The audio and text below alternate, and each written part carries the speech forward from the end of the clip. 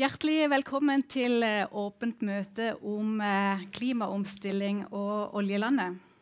Velkommen til eh, dere som følger møtet digitalt. Og spesielt velkommen til, til, dere som er her på Sølvberget i Stavanger. Det er jo ekstra kjekt å se levende mennesker når man har møter. Det er, så, det er en stund siden sist. Mitt navn er Kirsten Øystese. Jeg er prosjektleder i Norsk Klimastiftelse. Vi er Norges grønne tankesmie. Og dette arrangementet det har vi fått eh, anledning til å arrangere sammen med Universitetet i Stavanger og Sølvberget.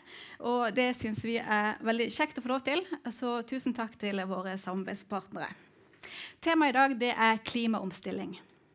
Vi skal snakke om hvilke utfordringer og hvilke muligheter oljelandet Norge møter når verden må til netto null utslipp i 2050.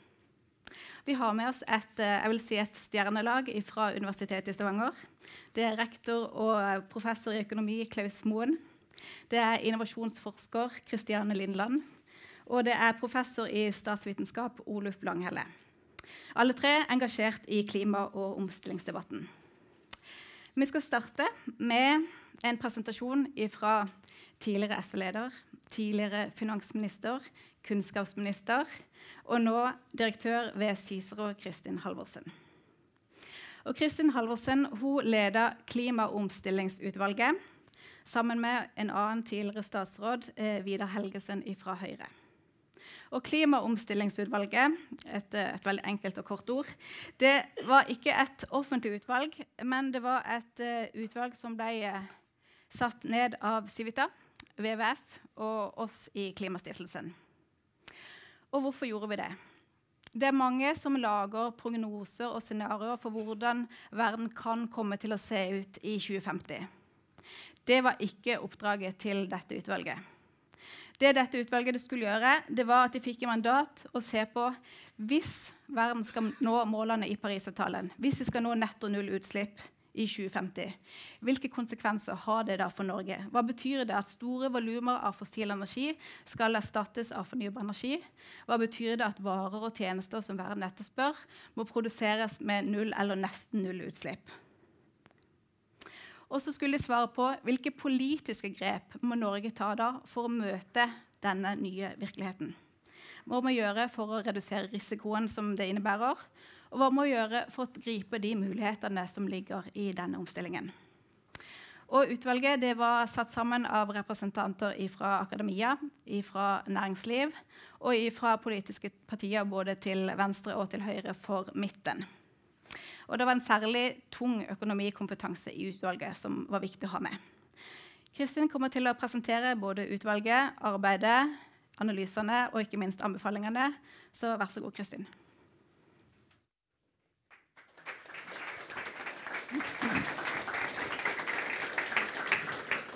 Tusen hjertelig takk. Jeg tror uh, Uten å fornærme de som måtte følge med på skjermen, så er det fantastisk deilig å se levende mennesker i en sal. Og applaus det tror jeg ikke jeg har fått på halvannet år, og det er, uh, det er veldig, veldig deilig. Eh, skal vi se Hvis jeg tar den, så kan vi begynne. Det var jo veldig, en veldig fin utfordring å få fra tre organisasjoner som eh, vanligvis ikke eh, samarbeider veldig tett.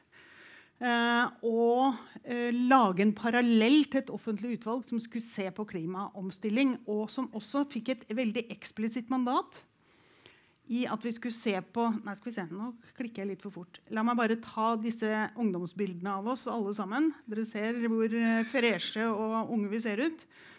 og det er helt riktig sånn som Kirsten sier, vi var bredt sammensatt. Men vi hadde uh, fire veldig erfarne uh, økonomer som jeg tenkte jeg skulle bare framheve litt uh, spesielt. Det er Linda Nøstbakken, som er forskningsdirektør på, i SSB. Og så er det Steinar Holden, som er professor på Universitetet i Oslo. Og så er det Hilde Bjørnland, som er professor ved BI i Oslo. Og så er det Didrik Lund, som er ekspert på oljeskatteregimet. Eh, som også er eh, ja, professor emeritus på Universitetet i Oslo. Og sammen med representanter for næringsliv og politikk så var det et utvalg som hadde veldig eh, spennende og gode eh, diskusjoner. Men det var jo ikke noe aktivistutvalg. Dette var eh, fagpersoner eh, og folk som måte, følger og har fulgt norsk økonomi i en årrekke. Og eh, folk som jobber med, med, næringslivsutfordringer til vanlig, og folk som jobber med politikk. Og det ble veldig eh, spennende og gode eh, diskusjoner. Det som vi fikk i et veldig klart eh, mandat, det var jo at vi skulle se hvordan en rask global omstilling i tråd med Parisavtalens mål vil påvirke norsk økonomi. Og vi skulle særlig adressere petroleumspolitikken eller oljepolitikken. Og det er det rett og slett ingen offentlige utvalg som har fått eh, i oppgave. Og det var jo derfor initiativtakerne også ga oss et så tydelig mandat. Vi skulle på en måte adressere elefanten i rommet. Nemlig hva skjer med et land som har en så stor eh, olje- og gassektor som vi har. Hvis vi lykkes med Parisavtalen og kommer ned til netto null utslipp i 2050. For det er det den eh, faktisk innebærer. Og det eh, var en veldig spennende utfordring å få. Og vi ja, La meg ta også enda litt grundigere fra eh, mandatet. fordi den, den, slår jo fast at vi allerede har eh, gått over én grad i global eh, oppvarming i forhold til førindustriell eh, tid. Og at eh, det viktigste vi kan gjøre, ca. Ja, mellom 80 og 90% kanskje, av de klimautslippene som uh, skjer i dag, de er kobla til uh, forbrenning av fossil energi. Så det er ingen vei utenom hvis vi skal nå Parisavtalens mål og, og lavutslippssamfunnet, enn at vi må erstatte fossil energi med fornybar eh, energi. Um, det er flere veier til målet, for å si det sånn. Det er, uh, dette er en vifte av hvordan utviklingen av global uh, temperatur som alle er innenfor egentlig Parisavtalens mål. For den sier at vi skal prøve å komme oss ned mot halvannen grads oppvarming. Og holde oss under to grader og ned mot halvannen grad uh, oppvarming. Og det er en, på en måte en vifte av ulike scenarioer. Men hvis dere ser på den svarte uh, uh, linja der i begynnelsen, så ser dere, de ser dere der vi er i forhold til global oppvarming per nå. Og Da ser dere også at vi har fått en liten dipp. Og den dippen skyldes koronaen, i hvert fall i begynnelsen. For det er klart at eh, det er veldig interessant å se hvor omfattende utslippene ble redusert da verden måtte stenge ned på bakgrunn av koronaen.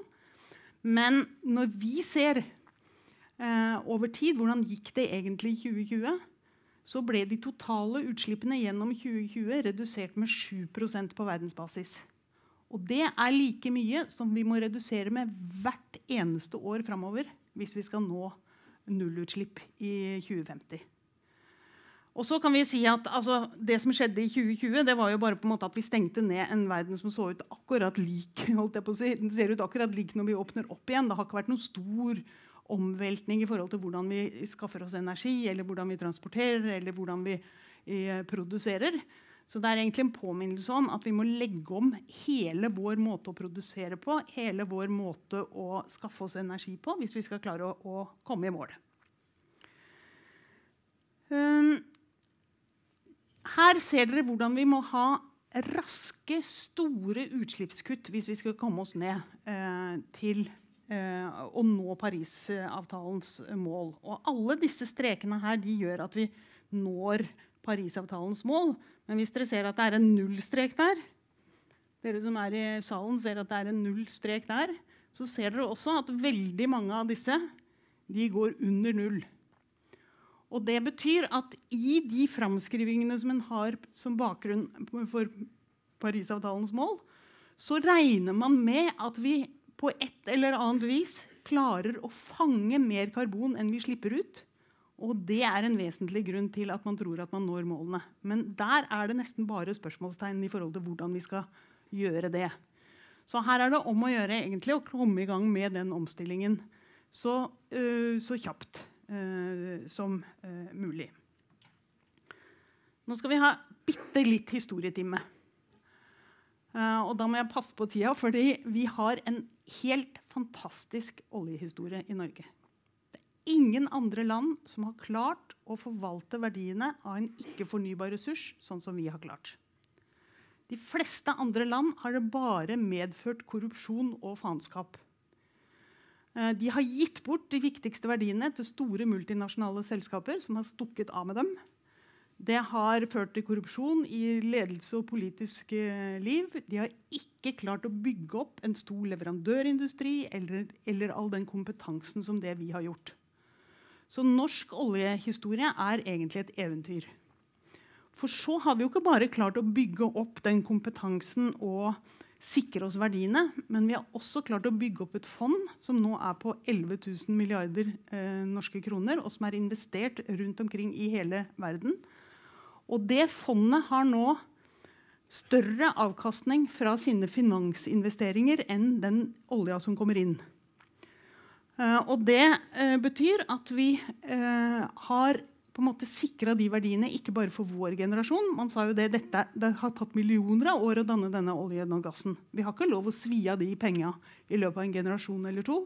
Vi må sørge for at, den, at vi tar vare på det til kommende generasjoner. Og det betyr at vi har en buffer for omstilling av norsk økonomi som ingen andre land har. Så utfordringen nå det er klarer vi siste fasen i dette oljeeventyret på en styrt måte, sånn at ikke enkelte regioner, enkelte næringer, enkelte deler av samfunnet bærer en veldig stor byrde, eller at vi i sum bærer en veldig stor byrde. Og det er jo en utrolig spennende eh, utfordring eh, å få. Nå møter vi jo en helt annen klimavirkelighet enn det vi gjorde for 50 år siden når oljeeventyret eh, begynte. Fordi stadig flere land erklærer jo at Eller hva skal jeg si, alle store land har egentlig erklært at de skal være nullutslippssamfunn i 2050. Det har EU gjort. Det har uh, Sør-Korea gjort, det har, har, Japan gjort, og Kina har sagt at de skal klare å være netto null i 2060.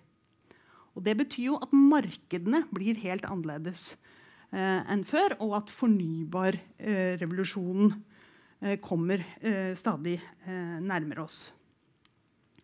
Og hvis vi særlig ser på EU, så må jeg si at de har brukt alle, store deler av de tiltakene som de setter i gang i forhold til sitt næringsliv, det har dreid seg om å slå sammen to kriser.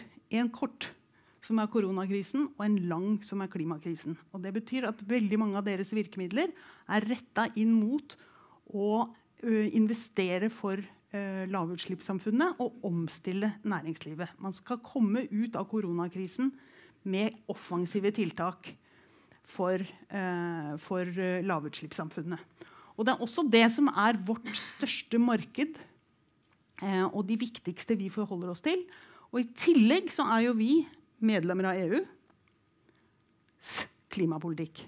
100% Så vi skal gjennomføre vår klimapolitikk i samarbeid eh, med EU. Og jeg tar fram dette her fordi at de snakker nå om European Green Deal. De har en omfattende satsing på sirkulærøkonomi. De satser på grønn energi. De snakker om grønn hydrogen de er veldig lite innstilt på å fortsette å kjøpe fossil energi eh, fra oss.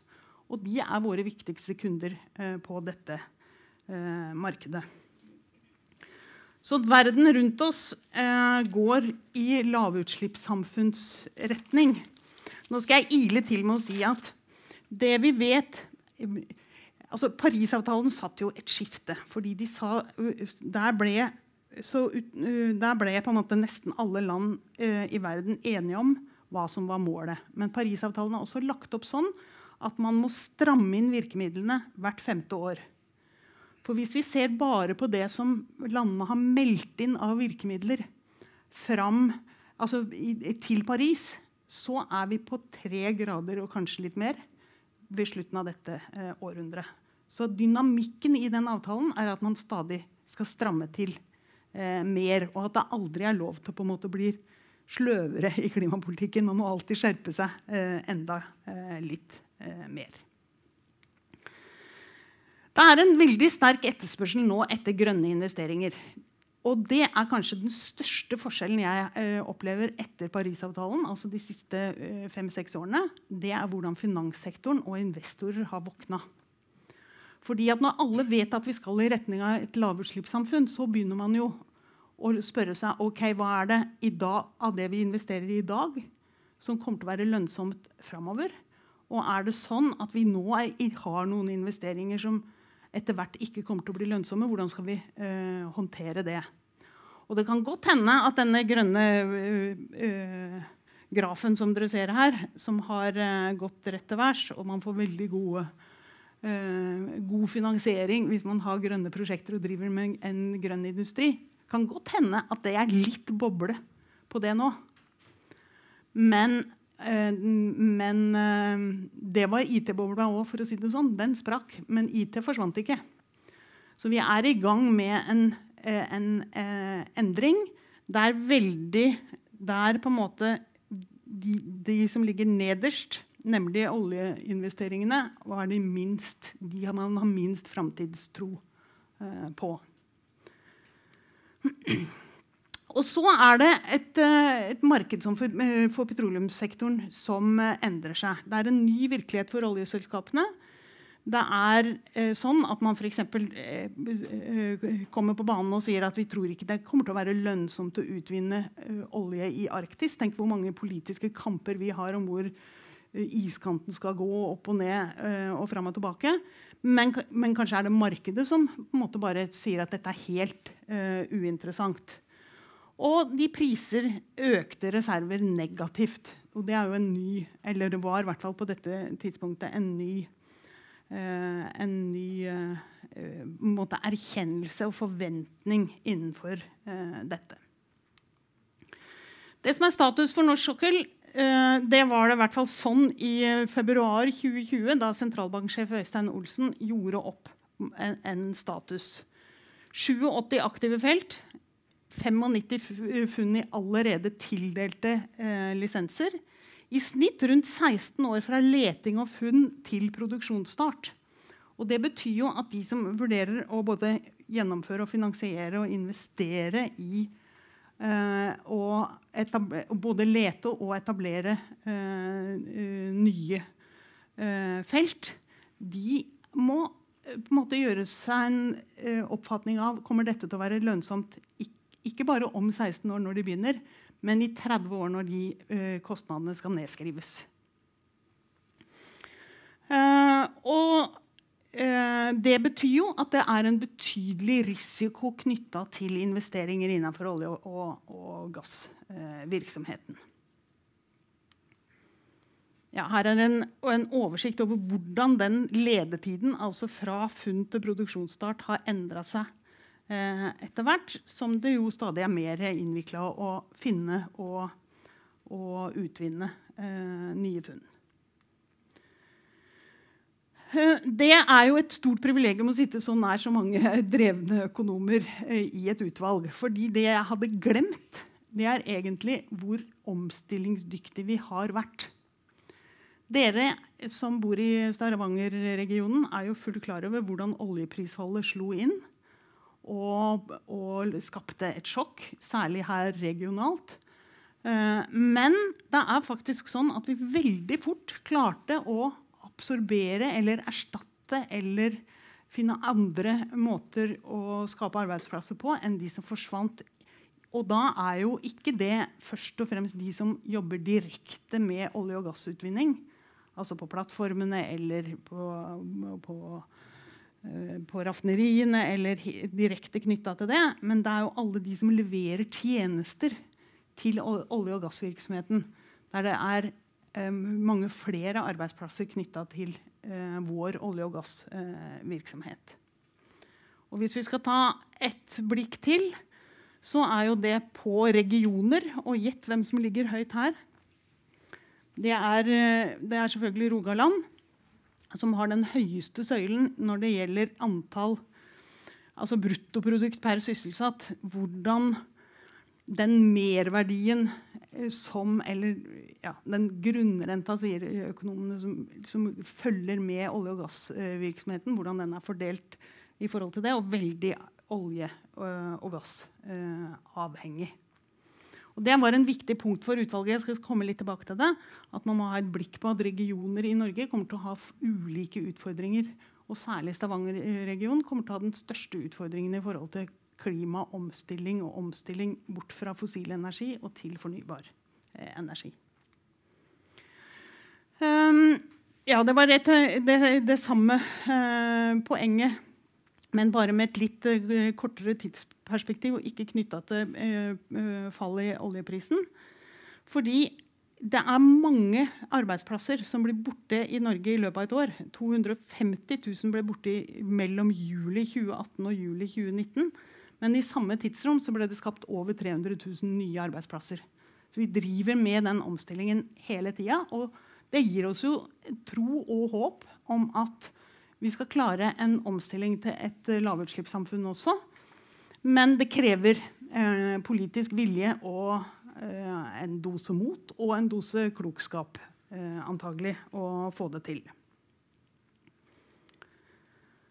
Eh, det blir færre årsverk i petroleumsnæringen, men, men, det kommer også til å, ikke være mulig å erstatte dem med øh, arbeidsplasser der verdiskapingen er like høy. Og det er selvfølgelig fordi at man, man omsetter jo en ikke-fornybar ressurs til øh, øh, Gjennom å pumpe opp olja og omsette det i et marked. Og når man ikke kan på en måte omsette ikke-fornybare ressurser og bruke opp de reservene på samme måte, så kan ikke de nye arbeidsplassene på en måte erstatte dem i forhold til verdiskaping eller, eller denne grunnrenta som jeg var inne på. Og det betyr at eh, det, det, kommer til å både bli skjevt mellom regioner, men det kommer også til å eh, være viktig at vi ser på at mange av de nye arbeidsplassene må komme innenfor konkurranseutsatt eh, sektor.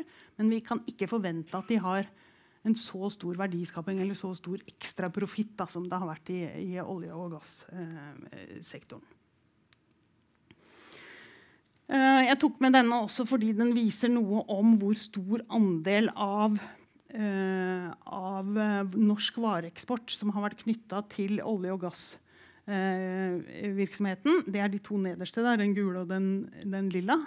Men nå ser dere at det har gått litt opp og ned, men det er omtrent på samme nivå som nå, som det var i år, eh, i år 2000. Så det er på meg vei nedover. Men når man skal ha blikk for hva skal erstatte oljen, så må man også ha blikk for hva kan vi gjøre som er eh, lønnsomt, som kan hevde seg i et marked, som skal, kan skaffe oss eksportinntekter eh, framover. Så til, til, det som er utgangspunkt for um, utvalgets anbefalinger. Det er redusert klimarisiko og mindre oljeavhengighet og et stort behov for et taktskifte. Det var hele utvalget enige om.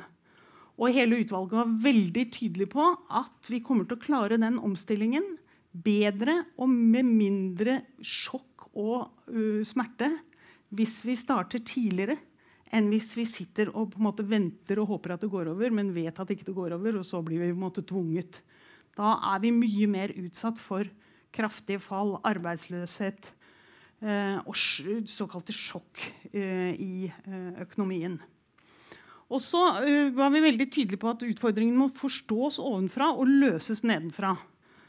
Uh, og det betyr bare at det er jo de, den jobbskapinga som skjer i hvert lokalsamfunn, i hver bedrift, som er, det er der på en måte uh, de nye arbeidsplassene faktisk skapes. Men de må ha rammebetingelser fra et overordna politisk nivå som gjør at en, en, kommer dit. Så forståelsen må, det må henge sammen hva som hva, den, hva, som skjer uh, i, ute i lokalsamfunnet og bedriftene, og den politiske forståelsen hun må ha på oss fra sentrale uh, myndigheter. Og så Det siste der, det er ikke mulig på en måte å bevilge seg ut av den omstillingen over offentlige budsjetter og tenke ja, men dette kan vi kan sette i gang med et eller annet. Vi vet ikke hvor lønnsomt det er, men altså, noe, vi har oljepenger, så vi kan bare dure på. For vi har mange andre utfordringer også som kommer til å kreve betydelig økonomisk eh, oppmerksomhet. F.eks. at vi blir stadig flere gamle. Uh, og vi lever uh, lenger. Og vi har andre utfordringer også som vi må, må klare å, løse. og så, da lina vi opp noen ting, og det er veldig deilig når du har gått av som politiker. Da, for da kan du si at nå må dere skjerpe dere virkelig. Hallo, liksom. Det må være tydelig omstillingslederskap, og man må ha tydelig omforente mål om å nå netto nullutslipp i 2050. Og det, er, det der høres litt sånn tilfeldig ut, men det er faktisk utrolig, utrolig viktig. At, det, måte, at, det, at man virkelig ser at ja, det er det som er målet for den politikken vi holder på med når det gjelder klimaomstilling. Og Det betyr jo at det må være et stort flertall, et bredt flertall. Og da inkluderer jeg særlig Høyre og Arbeiderpartiet og Senterpartiet, kanskje. Nå husker jeg ikke siste meningsmåling her, men men ikke, ikke, bare de som vanligvis pleier å være de som går uh, foran i, i, miljøspørsmål. For ellers så blir det usikkerhet om hvor man eh, faktisk skal. Og så må det være strategier i alle samfunnssektorer for å nå det målet. Og om forpliktende nasjonale omstillingsstrategier. Og det betyr jo at alle ledere i offentlig virksomhet for eksempel, må måles på om de forstår klimarisiko, om de er med på Eh, på omstillingen osv. Det må sildre liksom ned i alle forventningene eh, man har, og hva man skal levere på. Og det må gjennomsyre offentlig eierskap offentlig innkjøp. Der har regjeringen eh, i sin klimaplan vært offensiv i forhold til offentlig eh, innkjøp. Og det er flere andre av disse punktene her som, eh, som det er brei politisk eh, enighet om. Og så er det ett punkt som jeg er helt sikker på vi kommer tilbake til i debatten. Det er at vi må ha, ha folk med oss. Vi må gjøre det på en sånn måte at det er aksept og forståelse i befolkningen for hvordan dette kan gjøres. Og nå tror jeg vi har øvd oss litt under koronaen. fordi at når Nakstad var ute og sa at nå skal du slutte å klemme mora di, og du kan ikke ha gjester, ja, så gjorde vi jo det. Og det vi skal gjennom nå, det er, det er jo ikke i nærheten av å gripe inn i privatlivet vårt på den eh, måten som vi har vært igjennom allerede nå. Så det blir bare fest og moro. Eh, men vi må få pakka disse eh, Eh, politikkpakkene på en sånn måte at de har eh, aksept. Så er det jo riktig at olja vil være viktig lenge. Den vil være viktig for Norge i lang tid eh, framover. Fordi vi har gjort så store investeringer. Så selv om vi slutter i den dag i dag, så kommer jo oljeinntektene og virksomheten til å ha stor betydning for oss eh, framover. Men risikoen i forhold til nye investeringer de kommer jo til å øke. Og så er det i nedgangsfasen en eh, økende risiko for lav lønnsomhet. Altså at man investerer feil eller overoptimistisk og ikke tar måte risikoen ved at verden må skifte til fornybar energi skikkelig innover seg. Og kan gjøre eh, investeringer som, som, ikke kommer til å svare seg framover. Og så er det en ting som er, også er veldig viktig. fordi Til nå så har norsk oljepolitikk tenkt Oljeselskapene og våre interesser det er på en måte to sider av samme mynt. Mens nå kan det være at selskapene og myndighetene har stadig mer forskjellige interesser. Fordi vi vet at vi må omstille oss. Og vi vet at det er mange som i dag leverer til olje- og gassnæringa eller jobber innenfor dette feltet, som vi egentlig trenger bedre på andre områder i samfunnet. Mens en bedrift som faktisk sitter der og holder på med den virksomheten, de vil jo kanskje mene at de, disse folka må vi eh, beholde. Og ikke bare det, vi må også, beholde de pengene vi skaper, for vi vil gjerne investere i mer av det vi kan fra før. Og dermed har man, ikke sant, Det er jo vanskelig å være i en bedrift hvor du tenker ja, vi skal vel stenge om en 10-20-30 års tid, vi, så nå er det bare liksom på vei nedover. Du har på en måte en egen oppdrift en egen interesse, en egen kultur i å fortsette med noe av det man holder på med eh, fra før. Og så kommer sikkert mange av de eh, oljeselskapene til å prøve å bli gode på, uh, på, fornybar. Det kommer vi sikkert også tilbake til i diskusjonen. Det er veldig viktig å, å framheve at her er det ikke sånn at det er nødvendigvis sammenfall mellom de interessene som selskapene sjøl har, og de som samfunnet eh, har. Og så så vi på de rammebetingelsene som jo har vært fantastiske i forhold til hvordan vi har bygd opp olje- og gassvirksomheten. Skatteregime, andre eh, typer reguleringer. Men eh, eh, hvis vi ikke gjør noen endringer på det, så kommer antagelig olje- og gassvirksomheten til å vare lenger enn det faktisk er lønnsomt for samfunnet. Uh, og så har vi på en måte sett noe på rammebetingelsene for en ny risikovirkelighet. Vi må redusere risikoen for at vi gjør investeringer som ikke er lønnsomme for samfunnet. Vi må redusere sårbarheten for en brå nedgang i petroleumsvirksomheten. Og vi må være klar over hva vi risikerer som nasjon, nemlig at vi kan tape i enkeltprosjekter vi kan komme for seint i gang med den omstillingen som alle land rundt oss er i gang med. F.eks. i EU. Hvis vi sammenligner norsk politikk med EUs klimapolitikk, så ligger vi bakpå på mange områder. Også på områder der vi kunne ha fortrinn i forhold til å være, virkelig hevde oss å være verdensledende.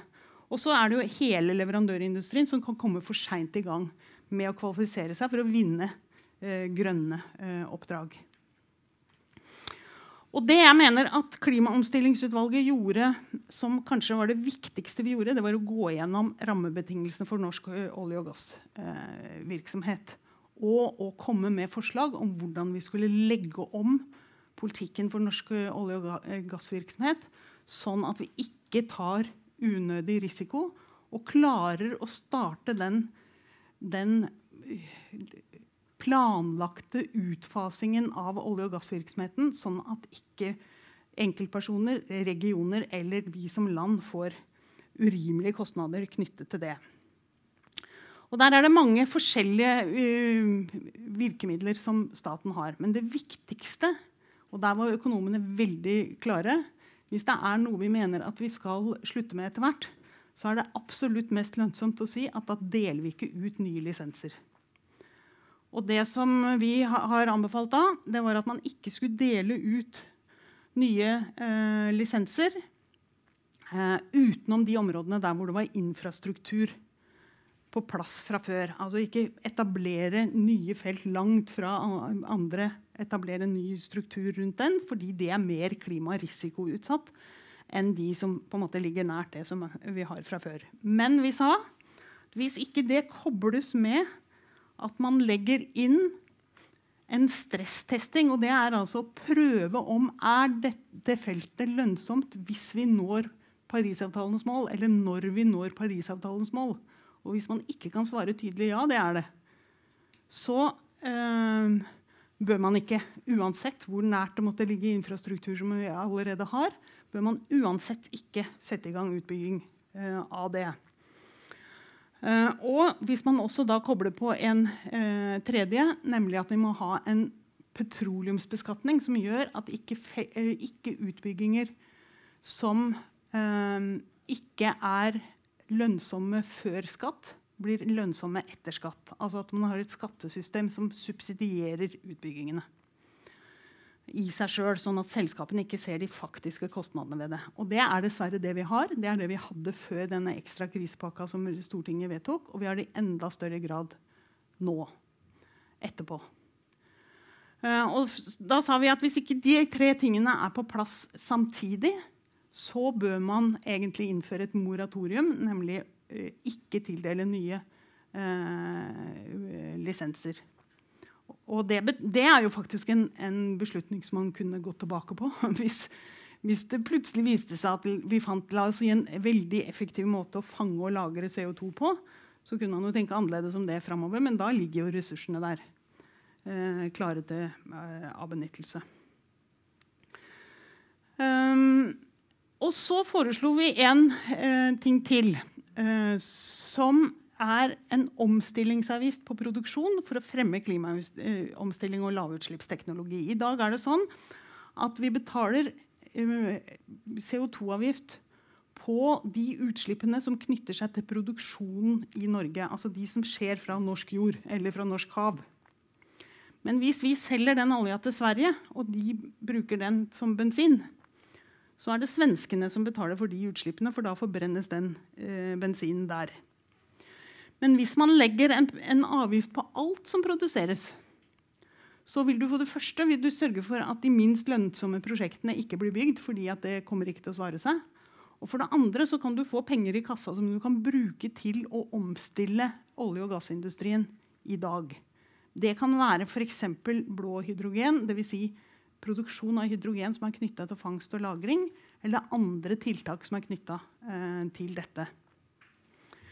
Uh, og det, en, uh, det vil være en e e ganske effektiv måte å, å, klare å få opp en finansiering av, uh, av å få opp alternativet til dagens olje- og gassvirksomhet.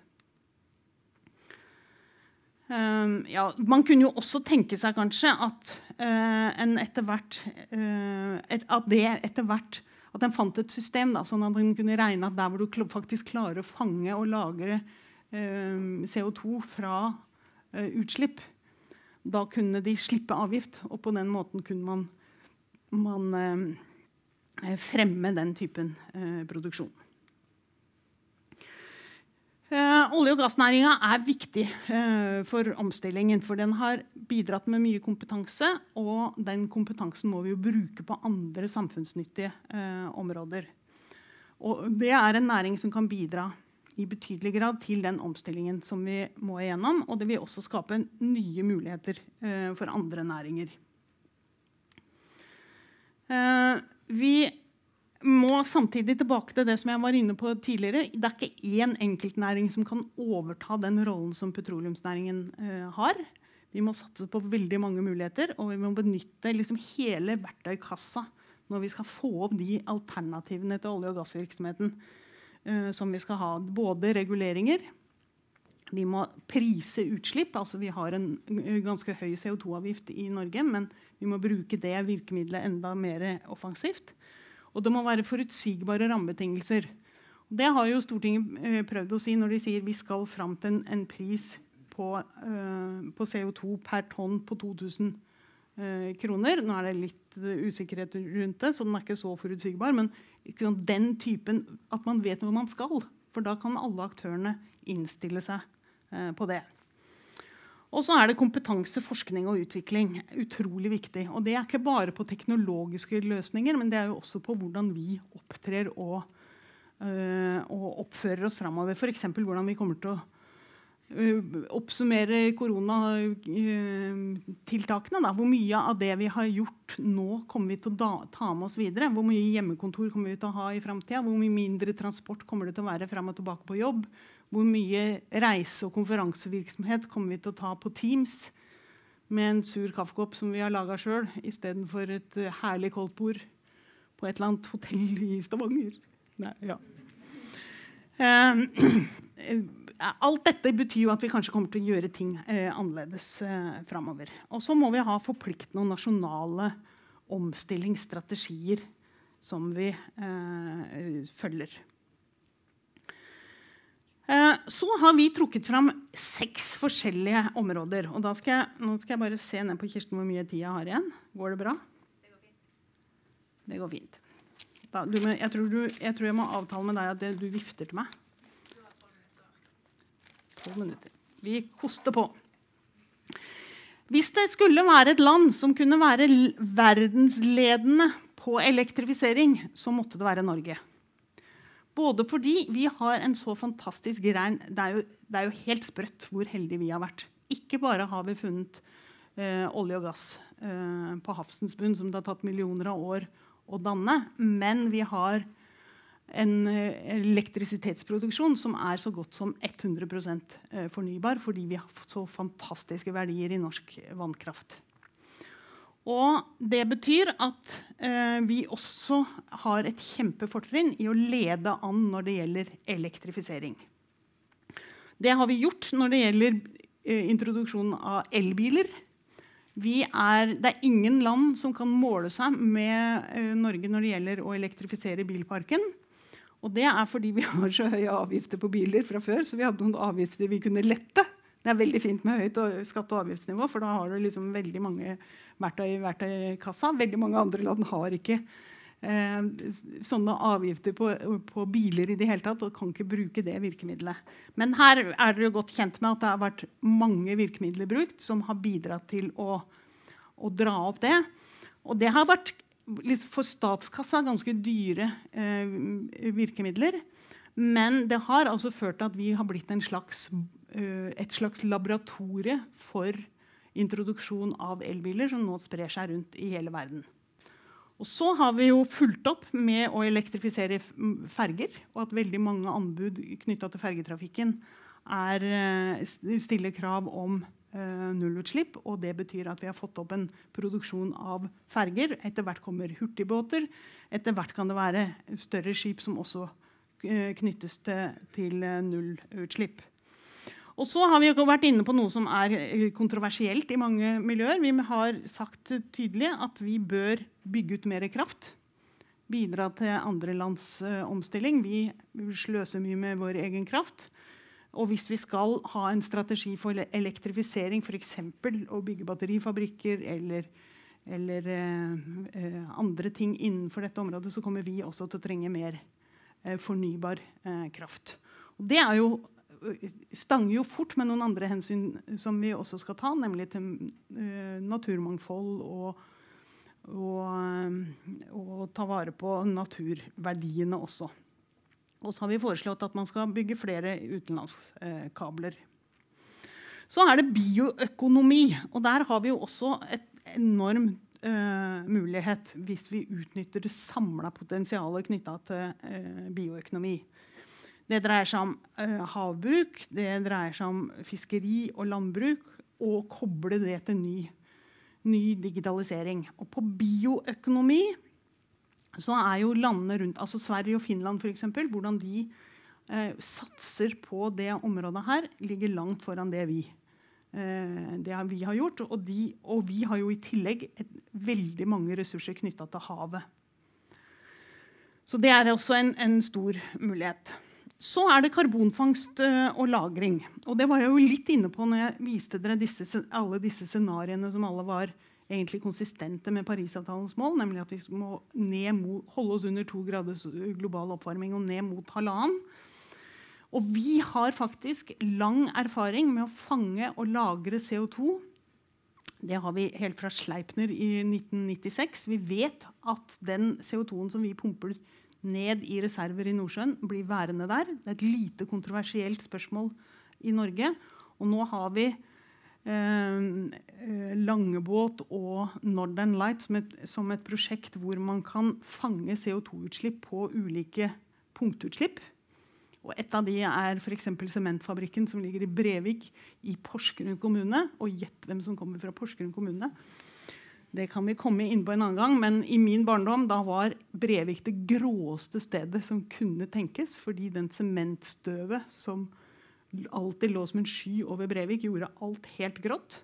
Og nå er det på kartet som et av de stedene som virkelig som har både fått bukt med den lokale forurensningen, men som også kan Eh, være en sementfabrikk som fanger CO2, og den kan skipes til lageret i Nordsjøen i, eh, i, Norge. Og det kan kobles på lignende punktutslipp rundt omkring i verden. Hvorfor skjer det ikke mer på dette området?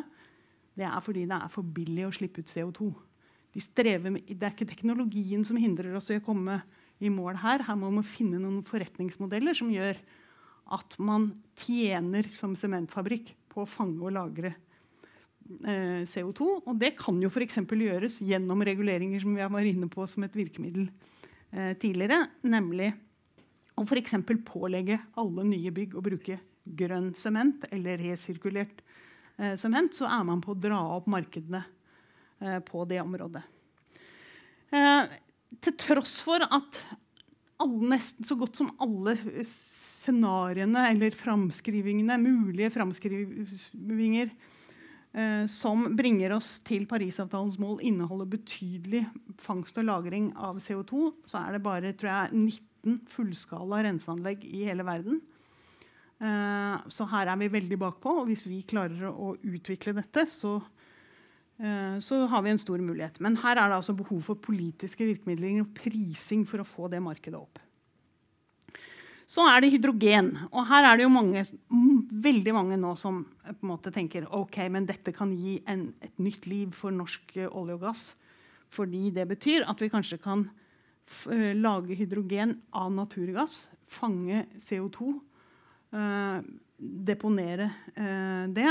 Vi klarer ikke å fange alt, men at det, det kan være én energikilde som blir etterspurt. Jeg har lyst til å, å ha litt kaldt vann i blodet på oss der. For det første så, Når EU snakker om hydrogen, så snakker de om grønn hydrogen.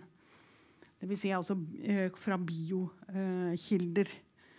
Um, og vi må ha klart for oss at det er noen som må kjøpe denne hydrogenen hvis vi skal komme um, så Hvis dette skal få noe stor uh, skala. Men, men, det kan uh, være en mulighet. Nå er det én ting til som vi skal være klar over. og det er at Hydrogen er en veldig lett gass som lett lekker. Eller vil si, lekkasjene fra hydrogen har også en klimaeffekt som vi ikke vet eh, nok om. Og den klimaeffekten kan dreie seg, Selv om det ikke er en klimagass, kan det dreie seg om at den fortrenger opptak av andre eh, klimagasser. Så Det er bl.a. noe som vi i Cicero ser nærmere på. Så er det sirkulærøkonomi. Og klare styringssignaler på det området. Og det er dessverre må jeg si, et område hvor vi ikke kommer til å bli verdensledende. I hvert fall ikke med det første.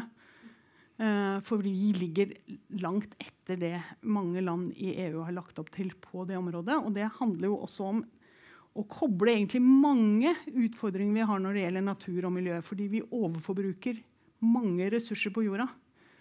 Og hvis vi klarer å finne gode, lure forretningsmodeller som gjør at vi kan dele og bruke og leie og reparere og bruke ressursene på en sånn måte at de er, går i sirkler og ikke liksom fra naturen og til et søppeldeponi. Sånn som vi har gjort det nå, så har vi, veldig, eh, så har vi veldig, veldig mye å spare på det. Og det er jo helt sprøtt. Når jeg er ute og holder foredrag, så pleier jeg å se ut for forsamlingen og spørre hvem som har flest driller. Da pleier det alltid å melde seg én mann skal vi se om det gjør her nå, som har sånn fem, seks, sju driller. Er det noen i forsamlingen? Ingen som tør. Men altså, jeg, kan, jeg som bor i en leilighet og skrur en gang i halvåret, har tre driller. Og det, Jeg vet ikke hvordan det har skjedd, men det har jeg nå. Det har jeg nå hvert fall. Det, la oss si, de kommer, å, de kommer ikke til å være utslitt når de blir kasta. Uh, og, og, det er jo bare et eksempel på alle mulige tenkelige dingser vi har. En elektrisk duppeditt, som man typisk har i hjemmet, gjennomsnittlig duppeditt, bortsett fra hårtørkeren, brukes i gjennomsnitt 13 minutter av sin levetid. Det er klart det går gærent, da. Og hva skal vi med det? Som tar bare plass og er ja, i det hele tatt. Vi kommer til å tenke på en måte lurere rundt hva vi må, trenger å eie, og hva vi kan leie. Og vi tenker mye lurere rundt hvordan vi f.eks. gjenbruker materialer. Det mest klimavennlige hvis vi skal bygge noe, det er jo å ikke rive. Men klare å bruke den bygningsmassen vi har, på nye, lure måter. Og hvis vi river, bruker, resirkulerer det vi har revet, sånn at vi kan uh, spare de ressursene. Eller at vi bruker materialer som binder karbon, f.eks. tre osv. På de områdene her skjer det utrolig mye. Masse på deling, masse på, eh, på verktøy, på, på, bygg, på infrastruktur ellers eh, osv. Store, nye næringer kan komme her. Og så det siste det er finansielle virkemidler. Vi har jo et stort oljefond som eh, har muligheten til å påvirke andre eh, investorer og som kan bli verdens ledende fond når det gjelder å håndtere klimarisiko. Og det vil ha stor betydning, fordi at hele omstillingen til lavutslippssamfunnet krever jo at pengestrømmene må gå mot de områdene der vi må bygge eh, opp igjen. Og hvis oljefondet kan bruke de musklene de har til å bygge opp sin eh, kapasitet og kompetanse, og i sin kontakt med alle selskapene de er investert i, påvirke dem til omstilling, flytte, ta utbytte fra de selskapene de ikke har noe tro på i forhold til hvordan, eh, hvordan eh, de, Om de har en strategi i forhold til at de skal være lønnsomme hvis Parisavtalen lykkes, sånn som Viktor Nordmann skrev i Dagens Næringsliv på lørdag. eller noe sånt. Ta utbytte fra oljeselskapene, putt de pengene inn i fornybarselskapene. Eh, Antagelig har de eh, større mulighet til å investere dem eh, fornuftig, var hans eh, beskjed. Uh, og siden vi er så toneangivende på dette, så er det noe som vi må være veldig oppmerksom på. Ja, det var egentlig bare en oppsummering av de områdene som vi uh, har markert som særlig interessante. Og da skal jeg ta med til slutt IEA, Det internasjonale energibyrået, som jeg håper at dere fikk med dere. Kommet med en ny rapport, Net Zero by 2050 Eh, der de sier at det er ikke bruk for nye investeringer i, ny fossil, eh, brensel, i nye fossile brensler. Altså olje- og gassektoren og kull, selvfølgelig. Og det er veldig oppsiktsvekkende fra det holdet. For det er de som veldig mange oljeselskaper har lent seg til i sine framskrivinger når de sier at det vil fremdeles være rom for betydelig olje- og gassutvikling Eh, eh, framover. Og nå kommer det nye signaler eh, fra det hold. Nå har regjeringa kommet med en energimelding, og Equinor har hatt, lagt fram sin nye strategi. La oss si Det gikk ikke rett inn. Men, men det er klart at det er en av de vekkerne som går til alle aktører nå og som gjør at jeg tror vi kan få en helt annen fortgang i den omstillingen. Og det betyr bare at det haster enda mer eh, for oss. Yes. Tenk på oss som har klart det oljeeventyret som ingen andre land eh, har klart. Det er klart vi klarer fase tre også av det oljeeventyret. Nemlig å sørge for at vi forvalter de verdiene som vi har bygd opp fra olje og gass, og som ikke minst er kompetansen knytta til, og får til den omstillingen på en styrt måte med lavest mulig kostnader for enkeltpersoner, regioner og for nasjonen. Og da må vi begynne i morgen. Takk skal dere ha.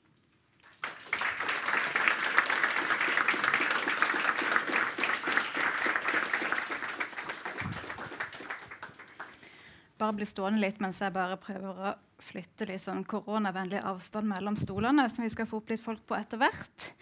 Det er rom for å stille et par spørsmål hvis det er noen som har noen sånn korte avklaringer du ønsker å ta med, med Kristin Halvorsen nå. Ellers vil det også være en, en spørsmålsseanse på slutten av, eh, av, arrangementet. Er det noen som har noe sånn umiddelbart som de, de ønsker å få oppklart eller ønsker å spørre om? Folk er jo ikke vant til å snakke for sånn lenger. Skal vi se, begynner dette å se riktig ut? Ja, jeg tror det. Det er jo, eh, det er jo nå et drøyt halvår siden der kom rapporten, og du nevnte jo nå IEA. Og ting har jo skjedd siden jeg la dette fram. Biden har blitt president i USA. Det hadde ikke skjedd når, når rapporten kom. Eh, det kommer sterkere signaler fra stadig flere land som, eh, som strammer til klimapolitikken. Så, så du ser, ser, det står fremdeles anbefalingene og analysen seg? Eh, absolutt. Eh, absolutt. Og jeg tror eh, særlig det som vi gjorde i forhold til rammebetingelsene for petroleumssektoren, eh, har ikke vært gått så systematisk igjennom av noen andre. Og der ligger egentlig de anbefalingene eh, klare. Mm.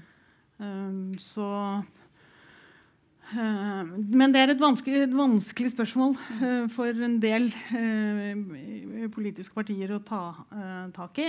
Men det må gjøres. Mm. Ellers så kommer vi for seint i gang med den omstillingen som alle andre land er veldig godt i gang med. Eller de viktigste andre landene er godt i gang med. Mm. Tusen takk skal du ha. Ja, det var en hånd der, ja. Bare, hvis du bare vil vente på mikrofonen, for da får også de på streamen høre spørsmålet.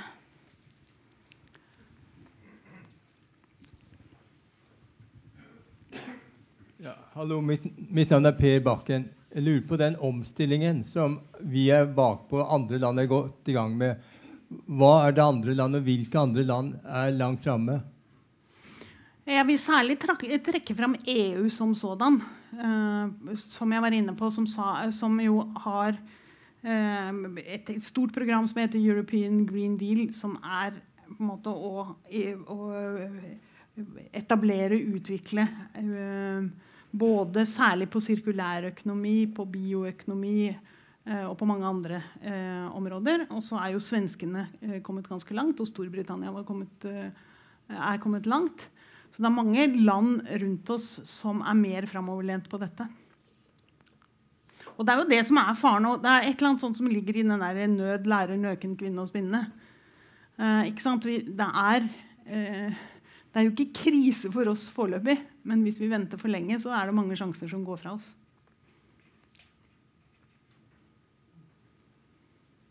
Takk skal Du ha. Du skal få lov til å ta en liten pause, så komme Ja. opp igjen eh, om eh, noen minutter.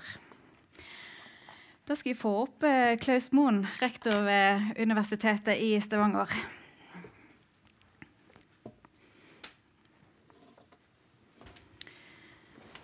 Vi skal også veldig snart få opp dine kollegaer Kristiane og Oluf, men, men bare for å begynne litt overordna først med et par spørsmål. Altså Det å nå målene i Parisavtalen det krever store endringer. Eh, og Hvor godt forberedt opplever du at Norge er på hva det faktisk kan innebære? Norge er et lite land i verden, og, og Parisavtalen gjelder kloden, som prøver å sette ting litt i perspektiv her. Eh, videre så er Parisavtalen det er ikke mer enn som om vi skulle springe maraton i lag, og så ble vi enige om treningsprogrammet. Og så kunne vi feire det så godt vi ville, men det er altså uendelig langt fram før vi klarer å innfri i fellesskap de målene som Parisavtalen eh, setter opp. Når det gjelder Norge sin, eh, sine forpliktelser under Parisavtalen, så er vi nok eh, litt bakpå, som Kristin har vært inne på. Og tusen takk for en veldig grundig gjennomgang. Jeg slutter meg, bak, slutter meg til veldig mye av det som er sagt. Og det er sagt så mye klokt at det er nesten ikke mer eh, å legge til. Men jeg vil bare si at det er et par forhold ved Norge som gjør at det er naturlig at vi eh, er i en spesiell situasjon.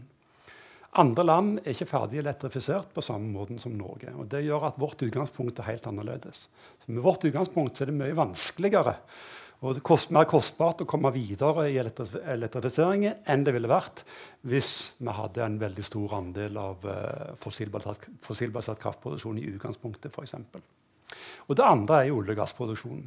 Denne næringen som representerer om lag 25% av nasjonale utslipp, og som preger veldig mye av utslippsstatistikken. Og så lenge vi ikke er interessert i og villig til å gjøre noe med den næringen, så eh, har vi utfordringer. Så det er vel kanskje de to forholdene som gjør at eh, vi har et, eh, et, en, et, en tyngre posisjon å komme videre fra enn en del andre land.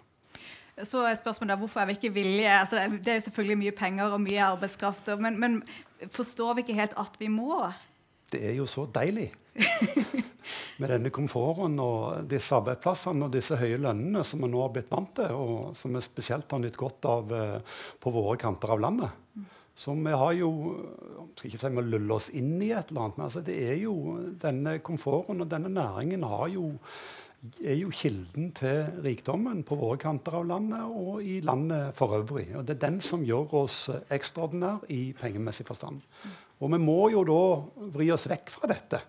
Og det er eh, naturlig nok eh, tøft og tungt. For de arbeidsplassene som måtte vente, de er ikke på langt nær så lønnsomme og har ikke den samme lønnsevnen som eh, olje- og gassnæringen historisk har hatt. Og for politikerne, Det er så lett å si at politikerne må snu seg, og partiene må snu seg, og det er lett å være enige om det. Men se på velgerne. Det partiet, eller De partiene som sier vi må gjøre noe med olje- og gassproduksjonen, de kan jo glemme å få stemmer. og Derfor så sier jo Erna ingenting om det. Og, øh, og øh, Jonas sier heller ingenting om det. De sier utvikle, ikke avvikle. ikke sant? Alle disse politikerne, fordi de vet at det er det som gjør at de øh, har best sjanser for å vinne kampen om den såkalte medianvelgeren som ligger midt i terrenget.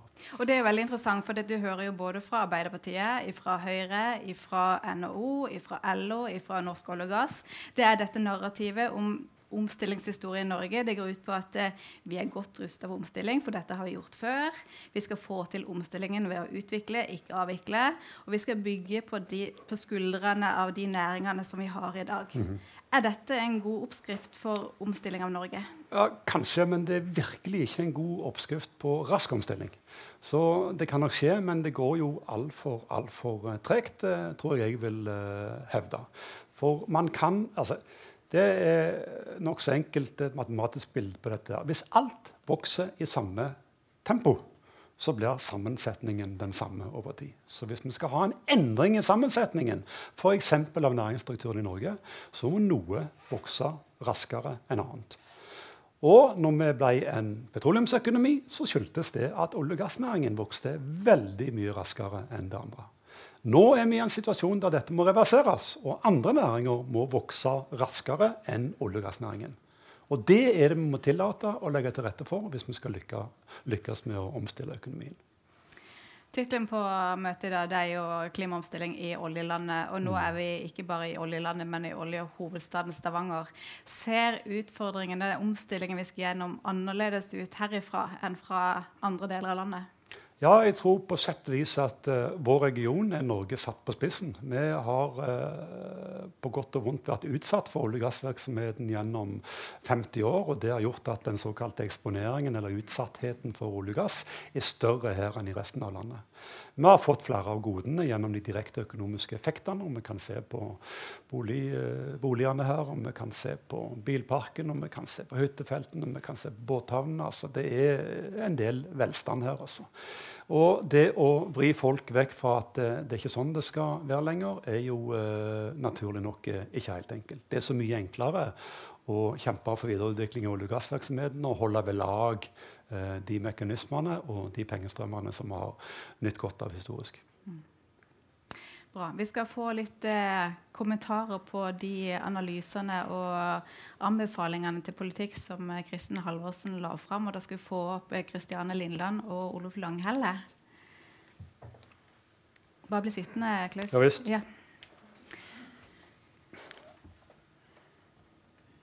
Og så Kristin, så kan du gjerne også um, være med hvis du vil kommentere på kommentarene etter hvert. Ytre venstre. Så har vi altså noen flasker, vi har noen flasker vann her. Og det er ikke sånn for å ikke være gjestfri at jeg ikke deler ut, men jeg er bare redd for ikke ta på tingene. Så det at hvis dere vil ha det, så må dere nesten forsyne dere sjøl. Sånn er det bare. Greit. Eh, politikere og interesseorganisasjoner de, og selskaper de er glad i å snakke om hva vi skal omstille oss til litt mindre glad i å snakke om hva vi skal omstille oss fra.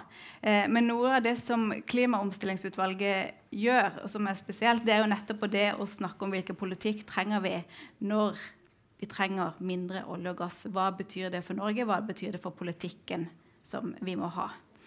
Eh, og da vil jeg gjerne høre med, med, stjernelaget fra universitetet. Hvordan ser dere på både den analysen som det er bygget på, og de anbefalingene? Da kan vi begynne med Oluf.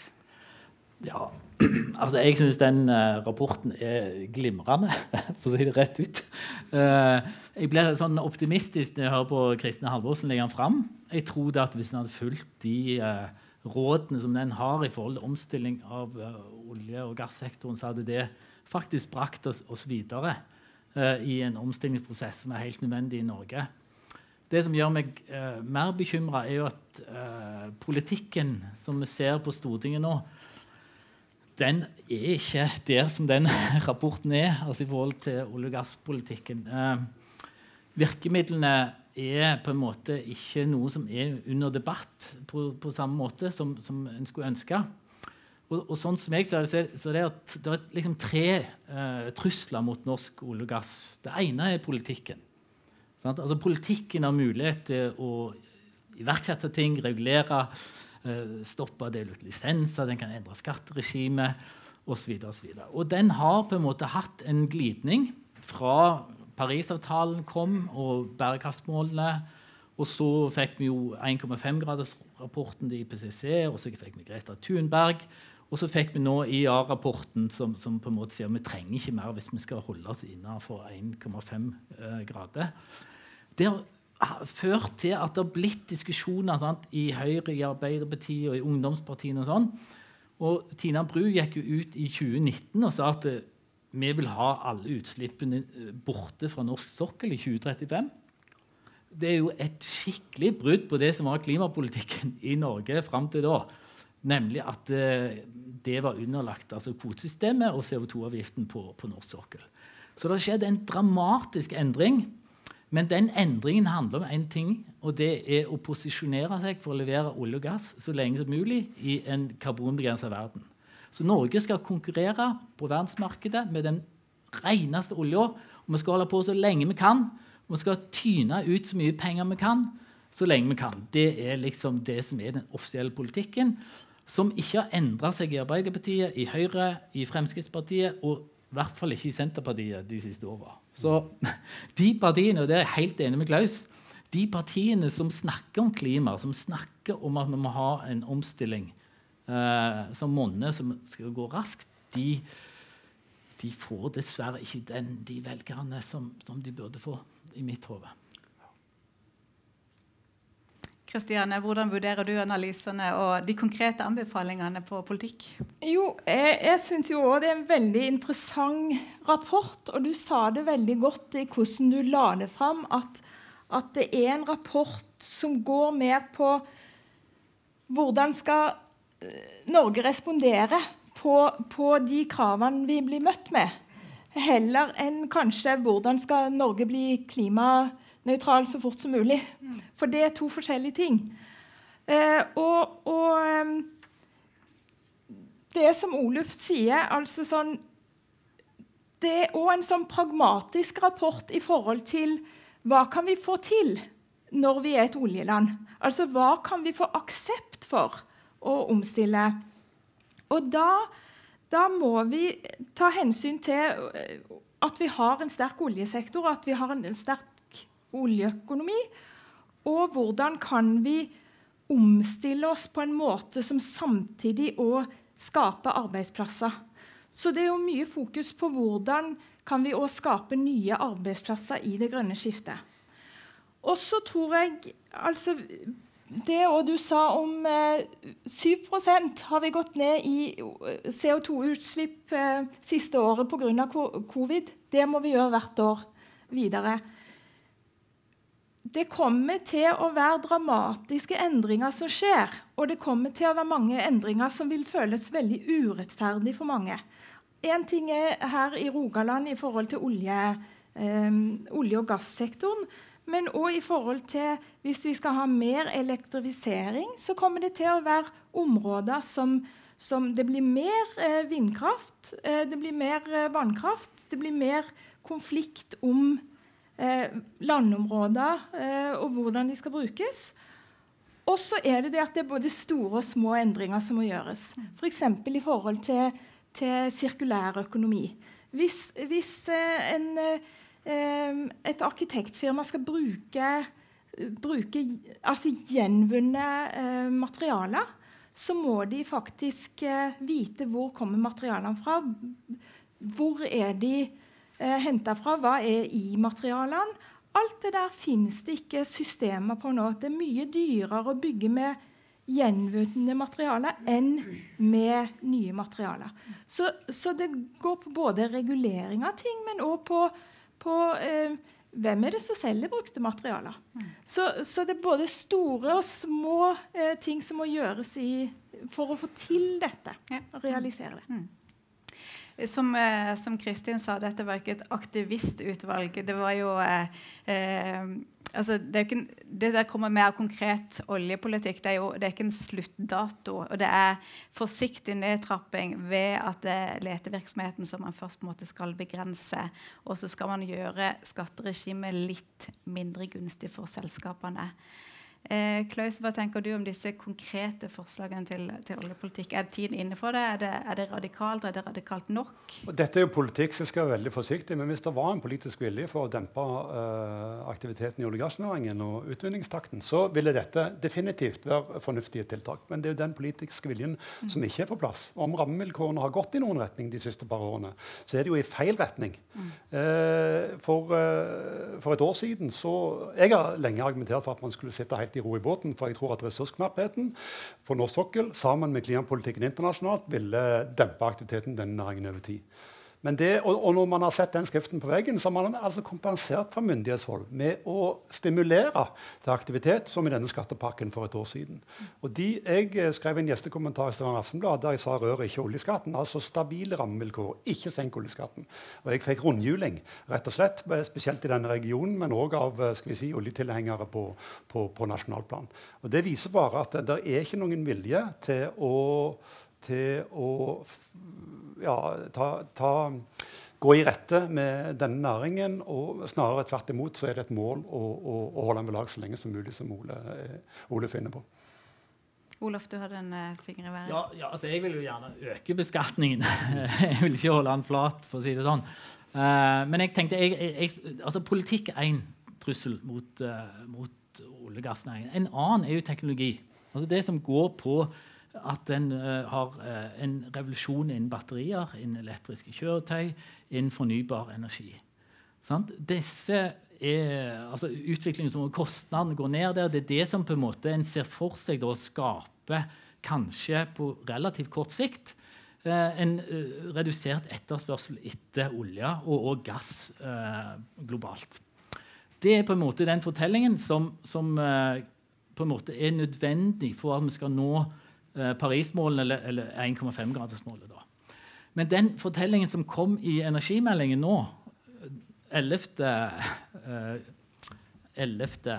denne måneden, det er jo den gamle leksa. At etterspørselen etter olje nei, den kommer til å øke dette tiåret vi kommer i.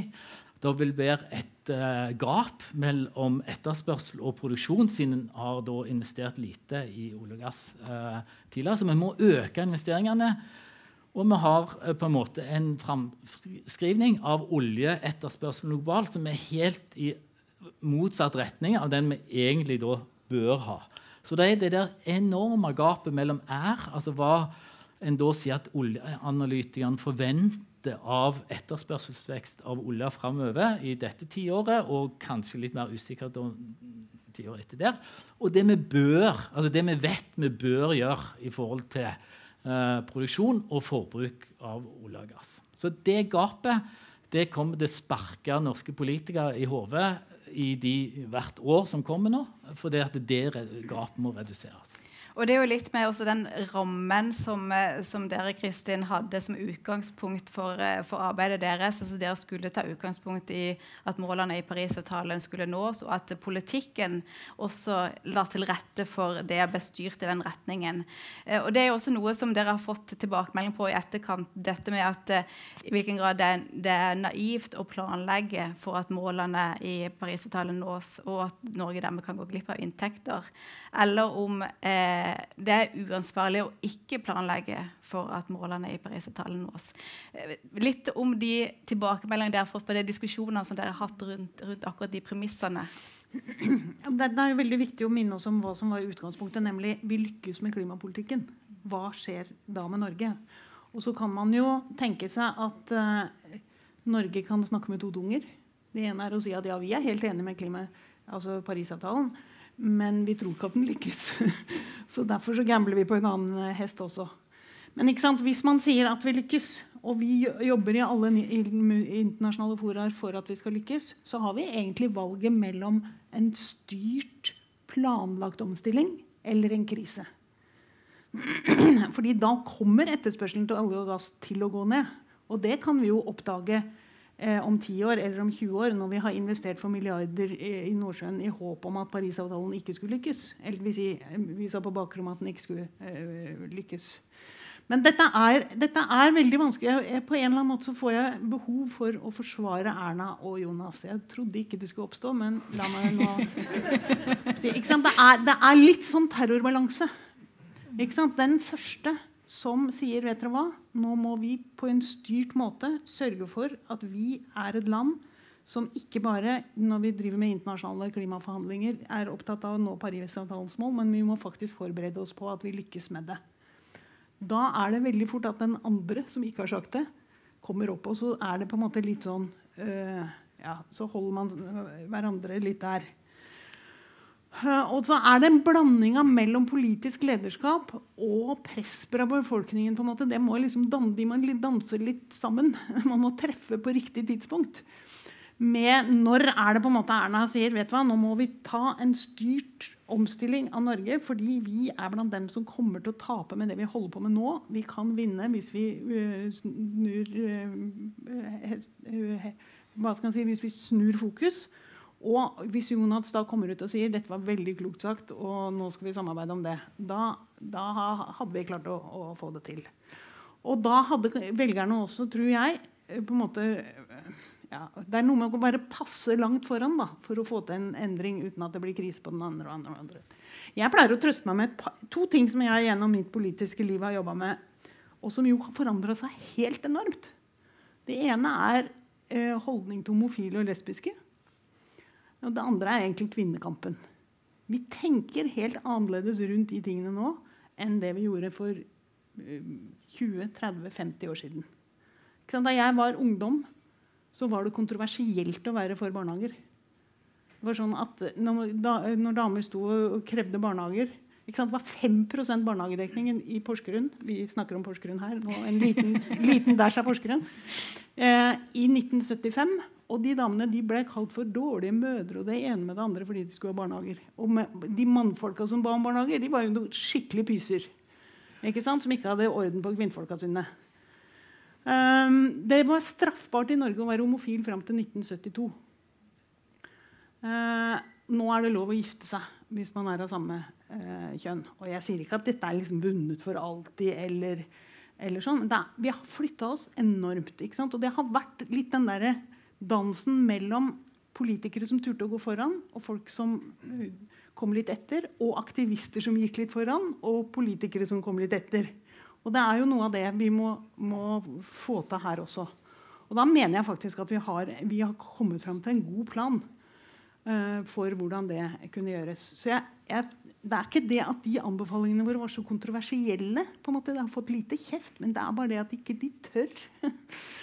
Eh, de, de, tør ikke være en first mover ikke sant? i redsel for at denne terrorbalansen da drysser. Så jeg tror kanskje vi må ha en liten krise. Vi får håpe den blir liten. Sånn at den vekkelsen kommer. Nei, ja, Sånn at de blir vekket opp. Og så at, eh, at, man får det politiske handlingsrommet som gjør at man tar de fornuftige grepene. For eksempel, så, altså jeg er jo spent på hva det, den lettelsen i krisebaka på oljeskatten faktisk fører til. Fører den til at vi gjør noen gigantiske overinvesteringer nå? Og så på et eller annet tidspunkt så må det jo fjernes igjen. Og så blir det total tørke. Ja, da har man skapt sin egen krise. da. Oluf, det bare må og så Klaus. Ja, ja, for det, Jeg har snakket om politikk som en trussel mot olje- og gassnæringen. Jeg har uh, snakket om teknologi. Det tredje er jo selvfølgelig at vi ikke finner mer på norsk sokkel. Det er kanskje den største trusselen mot norsk olje- og gassnæring. At en finner ikke noen større felt. At en ikke finner felt som ligger innenfor det som vil være økonomisk lønnsomt å, å utvinne. Den krisa tror jeg eller Det er en mulig krise uh, for olje- og gassnæringa, som òg innebærer en stor uh, risiko, som hadde vært veldig gunstig på mange måter. Vi slapp å gjøre det liksom si at nå får du ikke lov, men at jeg ikke fant mer. Uh, det er det ene. Men det andre jeg har lyst til å si, er jo at det som jeg føler skjedd ganske sterkt siden Parisavtalen, er at det faktisk skjer ting i næringslivet. Altså på en helt annen måte enn det gjorde før. Og der vil jeg faktisk inkludere òg Equinor. Altså selv om Equinor eh, sitt svar på Tina Bru sin uh, utslippsfri sokkel innen 2035 var 40% reduksjon innen 2030, så er det likevel en bevegelse. Og det er klart at det som har skjedd i Equinor, er eh, syns jeg altså, litt sånn uh, oppløftende i forhold til, til det de driver med. Og det som dere òg hadde i rapporten, det var jo at en skulle ha en mer aktiv eier i staten som skulle kreve ting. Sant? Og det eneste en har gjort på Equinor sine generalforsamlinger, det er jo å snakke om lederlønn. Der har han vært beinhard. Men hvis det er oljesandinvesteringer, da holder en kjeft. Og det er klart, Den eierskapsstyringen der den må vi vekk fra. Vi må kunne stille krav til disse selskapene som eier. Uh, Klaus, tidligere Equinor. Ja, jeg har sikkert vært uh, litt pessimistisk og hatt litt kaldt, slått litt kaldt vann i blodet på folk. Ja. Men jeg uh, tror òg at tida jobber for oss. Som, eh, for, de, som er mest konservative på disse feltene nå, de er tilårskomne. Og det skjer uh, mye i den oppvoksende slekt. Og vi ser jo at ungdomsorganisasjonene i ulike partier er mye mer offensive på dette feltet enn uh, moderpartiene. Så det, det, kommer til å fortsette å trenge inn i hovedpartiene. hovedpartiene. ellers så har jeg bare lyst til reflektere litt rundt hva som er forutsetninger for omstillinger, hva som er komponenter her. og Det er i korte trekk kapital og kompetanse. Som må brukes på en annen måte enn det vi bruker eh, disse faktorene på i dag. Og Kompetanse er tett knytta til teknologi, og jeg er hjertens enig med Oluf at det er en nøkkelfaktor her. Og teknologi og kompetanse det er tett knytta til kunnskap og kunnskapsutvikling, som universitetet steller med. Så jeg tror det er en, eh, en viktig rolle å spille her for uh, utdanningssektoren og for forskning i å frambringe den kunnskapen som uh, vi trenger for å fasilitere omstilling i tida som kommer. Og der har, har, Universitetet i Stavanger tenkt å ta sitt ansvar med grønn omstilling helt i kjernen av den nye strategien. Så til kapitalen. Og Kristin Halvorsen var så vidt inne på, på dette med, med, Statens petroleumsfond eh, osv. Men de investerer jo bare utenlands. Så ja, de kan jo eh, lære oss noe om hvordan vi skal regulere klimarisiko. Men hvis vi er opptatt av å få til grønn omstilling av norsk økonomi, så er det ikke kapitalen for oljefondet som uten videre kan brukes. Da må det brukes andre eh, penger.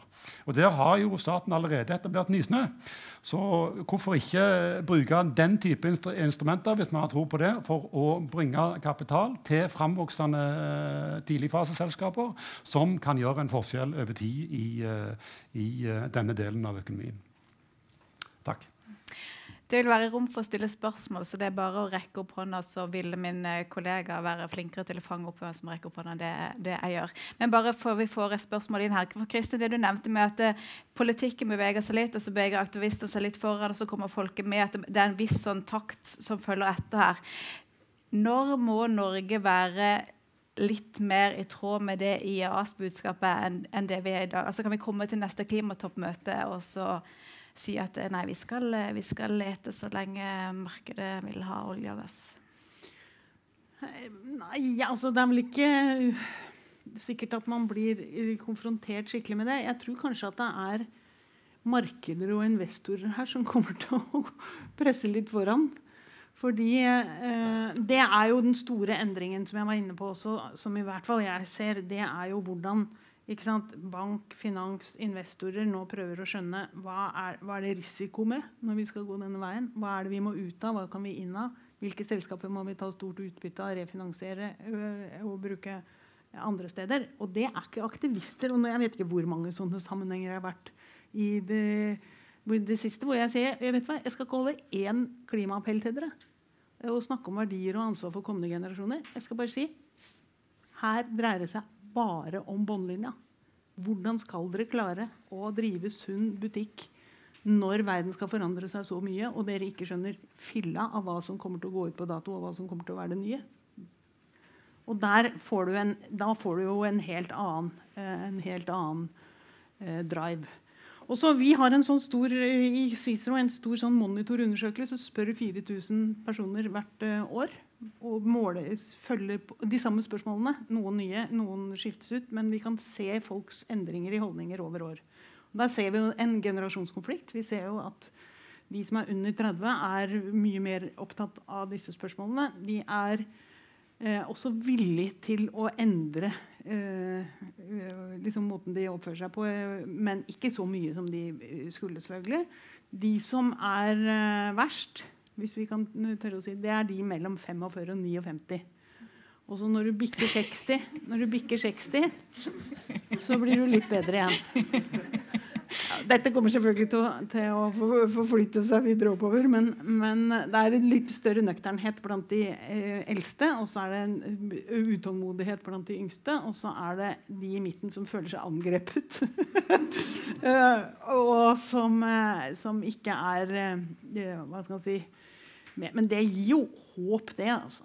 Jeg er helt sikker på at det er, det er jo ikke bare klimakrisen som gjør at uh, Universitetet i Stavanger har grønn omstilling som et nav. Det er også fordi at mange av de beste studentene etterspør nettopp det. Ikke sant? Og det sier jo alle bedrifter nesten også som jeg, sier, som jeg treffer, at ja, men hvis vi skal ha de beste folka, så må vi være opptatt av bærekraft. Vi må vite hvor vi skal når det gjelder klima osv. Så, så, selv om disse unge ikke er så ekstremt aktivistiske, så er de veldig sånn tydelig retning på hva det er som er attraktivt, og hva som er mindre eh, attraktivt. Så altså, spørsmålet, spørsmålet, er jo ikke om vi skal omstille oss. Spørsmålet er at vi skal omstille oss. Men skal vi gjøre det med kriser og store kostnader, eller skal vi gjøre det styrt? Vi skal ta inn eh, spørsmål fra salen. Ja, hallo, det er Knut Høiland. Jeg er 59 år og blir 60 til sommeren. eh, og jeg representerer industrien i fylket. Jeg eh, representerer Rosenberg, eh, som er hjørnesteinsbedriften her i fylket. Og så representerer jeg òg styret i Norsk Industri i Rogaland. Så det er mange år. Jeg har hatt diskusjoner med Klaus før. Jeg må først si at eh, Rapporten eh, som ble presentert, syns jeg var veldig bra. Enig i veldig mye av det som står. Eh, men det som jeg eh, føler ikke kommer fram, eller som kommer litt skjevt ut, er at eh, disse industribedriftene de, eh, Hvis vi ikke passer på de, så, så bryr de seg ikke om klima. De driver ikke med omstilling uten at vi tvinger de til det. Eh, jeg kan bare si at det, det som foregår i ledermøter og i styremøter i disse eh, oljeselskapene, det er klimaomstilling eh, hver uke. Eh, vi jobber med utvikling av nye konsepter innenfor eh, karbonfangst og -lagring, landstrøm, eh, flytende havvind. og, og, og bruker enormt mye tid på det. Det som vi er opptatt av, det er at denne omstillingen og denne teknologiutviklingen vil kreve subsidier eh, i eh, lang tid framover. Og det vil òg kreve at bedriften har et overskudd som gjør at en får eh, finansiert eh, de ressursene vi bruker. Eh, jeg har et svært team med meg som kun jobber med fornybar eh, forretningsutvikling. og det kommer vi til å jobbe med i mange år. Så jeg er litt skuffa av noen sin innstilling i forhold til at hvis vi ikke regulerer det og, og bremser det, så, så, skjer det ingenting. Ja, ja men det er Altså, vi har uh, snakka i forbindelse med, med, utvalgsarbeidet både med Kværne Verdalen, med andre eh, arbeidsplasser, om hva er det egentlig som foregår. Og det ligger jo planer der uh, for det.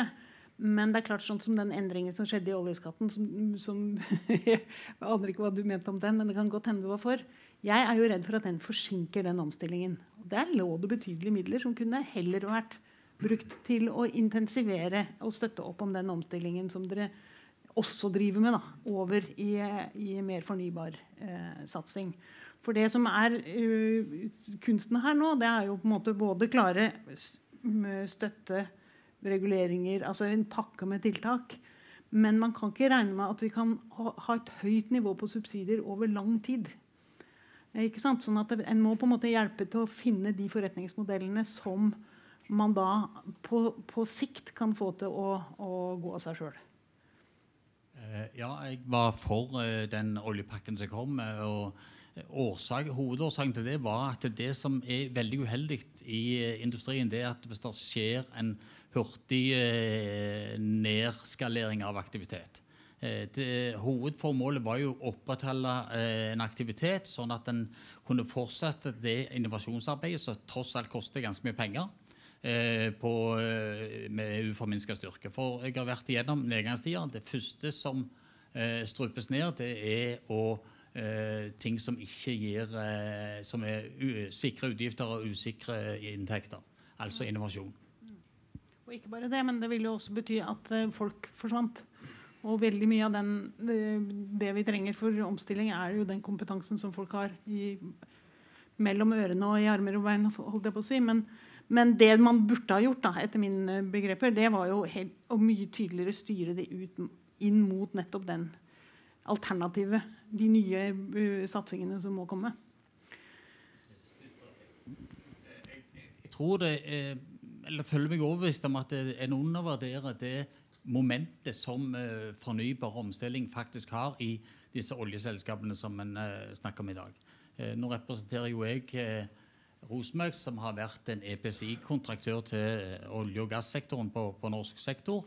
Eh, og vi og Worley som eier oss har som formål at alt vi driver med, skal ha, eh, bidra til en mer bærekraftig verden. Det er styrende for all aktivitet vi holder på med, inklusiv det vi gjør eh, i olje- og, og gassprosjekter. Det skal bidra til en eh, mer bærekraftig verden. Kan jeg komme med et spørsmål tilbake? Eh, hvordan var det for ti år siden? Nei, Det er et helt annet moment nå. Ja. Det er et, eh, og det er det momentet jeg tror er undervurdert. Hva som faktisk skjer i bedriften i dag. Nå representerer jeg Rosenberg. Jeg, det er tilsvarende i Aibel og Aker. Der skilles ut selskaper, der er omorganiseringer. Eh, og en rekrutterer inn eh, eh, nye folk med kompetanse til å eh, utvikle forretning omkring det som nå kommer i forhold til bærekraft og fornybar energi. Oluf, du ville si noe så, Kristiane? Ja, altså Jeg var jo òg mot oljepakke, men jeg er for subsidier. Uh, og der er jeg kanskje litt sånn uenig i den rapporten dere sa. at dere er litt sånn forsiktige. Jeg syns dere var for strenge. Det var for mange økonomer med. Fordi at det er det som, som Hvis en ser på en omstilling sant, innenfor energisektoren, når og hvor har det skjedd? Sant? Altså Hvis en går tilbake da, til 1972 og Stockholmskonferansen, så ga Barbara Ward og René Dubos ut ei bok der vind og sol var en drøm. Altså, det fantes ikke i 1972 når Stockholmskonferansen var der. Og så får det en gradvis utvikling. Det som setter fart på det, det er når Tyskland begynner å subsidiere sol og vind. Massivt. De taper jo penger på det. Det er ikke kostnadseffektivt. Mm. Men det er sånn sol- og vindrevolusjonen oppstår. Parallelt så er det lignende prosesser som skjer i Norge med elbiler. Altså, det er noen grasrotaktivister som henter en Fiat Panda ombygd til Norge, som blir registrert som ei, ei campingvogn med odometer, for de hadde ikke noen klassifisering for det. elbiler. Altså Det at Norge har subsidiert elbilene, det har ringvirkninger langt utover Norges grense. Altså det, vi er faktisk de som bidro til elbilrevolusjonen, vi er betalt for den. Vi får ikke pengene tilbake. Men vi får det i uh, betydning at uh, utslippsreduksjonene de kommer som følge av norsk uh, elbilpolitikk. Og vi trenger subsidier på karbonfangst og -lagring. Vi trenger det på, på havvind. Og staten må inn og være med å styre når denne omstillingen skal gå fort. Altså, Vi har ikke tid å vente liksom, fra 72 fram til liksom 2000 sant, på sol og vind. Så her å tro det at det viktigste spørsmålet står overfor, ikke skal koste penger, det er det jeg reagerer på. Altså, skal vi løse klimakrisa, så vil det koste oss penger. Og det bør vi egentlig da være villige til å betale. Det er mitt standpunkt. Nå ba jeg Kristiane først om ordet, men, men, du holder tanken sånn at du vet hva du Ja, Kristiane. Eh, ja, eh, litt tilbake til det med, med uh, omstilling av virksomheter og at bærekraft er fokus. Jeg tenker For ti år siden så var bærekraft kanskje mer en sånn eh, ja, Det er litt feil å si det, men sånn eh, på en måte en sånn window dressing. Altså at du, du også brukte det som en sånn konkurransefordel. Nå er det noe du må forholde deg til. Så, så en virksomhet som ikke forholder seg til det, taper eh, terreng. Så, så, jeg tror at det er noe virksomheter òg gjør fordi at eh, de, har, altså de ser at det er sånn de kan være konkurransedyktige. Eh, altså de må være eh, bærekraftige. Så jeg er helt enig i at, at en må ha subsidier i, i en overgangsfase. Men virksomhetene må jo være lønnsomme på sikt i det nye regimet. Og da tror jeg en, en del arbeidsplasser kommer til å å forsvinne, og så kommer nye til å, uh, til å dukke opp. Altså Det kommer ikke bare til å være inkrementell innovasjon, men òg radikal innovasjon i forhold til næringa. Eh, men så er det mye kompetanse vi har i Norge som kan brukes i ulike, ulike næringer. Og så tror jeg òg at, at, mer uh, altså I fremtida vil vi kanskje også se for mer at bønder òg driver med, med energiproduksjon at en kombinerer f.eks. sol og og jordbruk. Så det kommer til å være og mer bransjeglidninger i forhold til hva de nye yrkene blir, eh, tror jeg. Kristin? Jeg tror vi må ha masse forskjellige virkemidler eh, for å få opp eh, dette. Og vi kommer også til å, å støtte ting som går som er helt mislykka.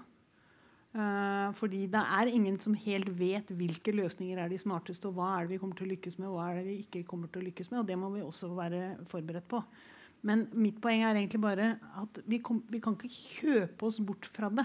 Vi må på et eller annet tidspunkt så må det oppstå noe som, som, eh, som, kan overta eh, for olje og gass. Og det kommer ikke til å være én næring. Det må være summen av mange næringer som er veldig mye likere det næringslivet som andre land som ikke har den, den ikke-fornybare ressursen, har. Og det, det, kommer til å koste. Og vi må også allerede nå si at vi kommer til å subsidiere eller stimulere ting som ikke kommer til å, å være vellykka, fordi man feiler. I, det må, må tas noe høyde for feiling òg. Og det er veldig vanskelig hvis man skal for plukke de forskjellige teknologiene. Hele poenget er jo at det skal være lavutslipp. Det kan være flere veier og løsninger eh, på det som vi ikke vet om i dag, eller som vi ikke tenker på er det mest lønnsomme i dag. En replikk fra Ole, for så må vi høre hva økonomen sier. Altså, jeg syns jo staten har vært veldig uh, smart når det gjelder uh, nullutslippskjøretøy. Altså, de driter i om det er hydrogen, brenselceller eller elbil. Så at du har hatt den konkurransen mellom noen teknologier. Men, men, de har stilt krav på hva er det vi skal ha. Jo, vi skal ha et, som, eh, et kjøretøy som ikke slipper ut noe. Ferdig med det. Så kan du komme med hva du vil. Han sa det var for mange økonomer i utvalget. Hva, hva, hva tenker du, Klaus? jeg tror også det. Omtrent passe til dette med omstilling i næringslivet. Jeg har stor respekt for det som skjer både blant oljeselskapene og i leverandørnæringen i Norge når det gjelder omstillingen, og jeg tror virkelig at de tar utfordringene på alvor.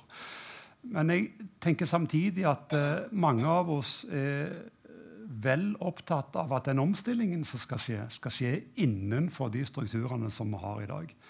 Sånn at det er de selskapene vi har i dag, som skal omstille seg, og de skal overleve i en annen form, og det er oljeselskapene som skal overleve i en annen form osv. Men jeg tror vi må åpne den boksen litt og tillater at det skjer en omstilling på tvers av selskapene. Noen selskaper vil bygges ned, forsvinne, det vil skytes knopper, det vil utskilles virksomhet osv. Det er en dynamikk der eh, mellom selskaper som jeg tror vi må, må være åpne for i det omstillingsarbeidet som eh, ligger framfor oss. Jeg er vel òg blant de som er litt sånn skeptisk til, til subsidier. For uh, det blir lett en kamp rundt honningkrukken. med 11 000 milliarder på oljefondet så er det liksom lett å se for seg at vi har penger til alle gode formål. Ikke det at jeg er imot uh, offentlige stimuli, men jeg tenker det ville være bra at vi da tok pengene fra et sted, sånn at kostnaden kjentes, og at det ikke bare representerte et økt trekk på oljefondet. Og jeg er også, som Kristin er inne på, tilhenger av at eh, disse støtteordningene og subsidiene da blir målretta direkte mot eh, de aktivitetene som vi ønsker å stimulere. Det er jo en debatt i dag om uh, hvor aktiv staten skal være i omstillingen, og, mm. og hvor de politiske partiene beveger seg langs en, en akse hvor, hvor, du har noen som vil ha mest mulig marked, og noe som vil ha ikke mest mulig nødvendigvis eierskap, men i hvert fall at det er, en, det er skiller her. og Uten at vi skal bli for partipolitiske i diskusjonen, går det an å ta en litt sånn akademisk grei ut og, og drøfte tilnærming til problemstillingen og si hva, hva kan vi hva kan vi forstå fra historien? Når, når, skal staten inn, og hvor mye skal staten inn i, i den situasjonen som vi er i, i Norge nå? Det, altså, det er jo min uh, venn og kollega Ola Kvaløy som har vært fanebærer mm. for uh, samfunnsøkonomene i den debatten. Og jeg deler mange av hans synspunkt, men jeg er nok litt mindre kategorisk og litt mer ambivalent enn det han er. Men eh, for samfunnsøkonomenes ståsted så er det noen, noen, klare kriterier som skal være til stede for å rettferdiggjøre, rettferdiggjøre eh, statlige inngrep, les eh, subsidier. Og Da skal det være noen markeder som ikke fungerer på en eller annen måte. Enten ved at Det klassiske eksempelet er jo eksternaliteter, og vår tids største eksternalitet er jo klimautfordringen. Den blir ikke løst av markedet. Så det rettferdiggjør eh, eh, statlige inngrep. Men derfra til å si at staten skal peke ut næringer, peke ut enkeltteknologier og peke ut vinnende samfunnsutfordringer som bør ha en stor prioritet, det syns jeg er ganske problematisk. Og da bør man møte sånne problemstillinger med ærbødighet. For eh, det åpner opp eh, noen bokser som vi ikke helt eh, ser hvor vil ende hvis vi slipper løs et sånt løp. Så Derfor så syns jeg at den debatten er veldig nyttig, og det er viktig at alle beslutninger eh, som tas på dette feltet, er godt opplyste. Hva er faren hvis Norge sier havvind, hydrogen, CCS, der skal vi gå inn? Det, hvis det er feilsatsinger, da, så, vi, så, så, hvordan skal vi være sikre på at det, det er de to satsingene i det, det, tilfellet som er de rette? Og der er jeg blant de som tenker at eh, næringslivet er trolig blant de beste til å vite hvilke av disse teknologiene og næringene som har potensial til å vinne fram. Da, da, historien har vist gang på gang på gang at når politikerne prøver seg på det spillet, så går det gale. Så jeg tror ikke at det alle, alt det politikerne gjør, slår feil. Men jeg tror at risikoen blir større hvis politikerne foretar de valgene, enn hvis, hvis næringslivet foretar de valgene. Sånn litt forenkla, altså. Ja. Ja, Olof. Ja, altså, jeg, jeg, skjønner at det er en, okay. en kompleks debatt, men, men altså, jeg er vel litt uenig når, det gjelder dette her. For eksempel, eh, altså, det de gjorde i, i, Tyskland, var jo å si at OK, vi går for sol og vind. Altså, de, det var teknologiene som fantes, som de kunne videreutvikle. Um, næringen nå vil jo si at CCS er kjempebra. Uh, havvind er noen bør satse på. Det er jo svære havvindklynger. Um, det er ting, altså Når en da går inn og satser på disse næringene, så er det òg noe som eh, da får en egen dynamikk nettopp gjennom at en satser på dem. Eh, og jeg mener vi må ta de risikoene nå i forhold til den omstillingsprosessen vi står overfor. For klima er en eksternalitet som markedet ikke løser alene en replikk, og så sies det at det er fire det spørsmål her. Det siste er vi men jeg tenker at en heller kanskje kunne uh, lyst ut midler da, på en eller annen måte som var satt til å møte den nåværende utfordringen. Og så fikk næringslivet eller aktørene finne ut hvordan de skulle møte utfordringen, som er f.eks. å få ned klimagassutslippene. Og Hvis svaret var sol, vel og bra. Hvis svaret var CCS, vel og bra. Hvis det var hydrogen, vel og bra. Men at det, det var aktører som sitter der ute og har fingrene inne i markedene og teknologiene, som eh, foretar det endelige valget på det feltet.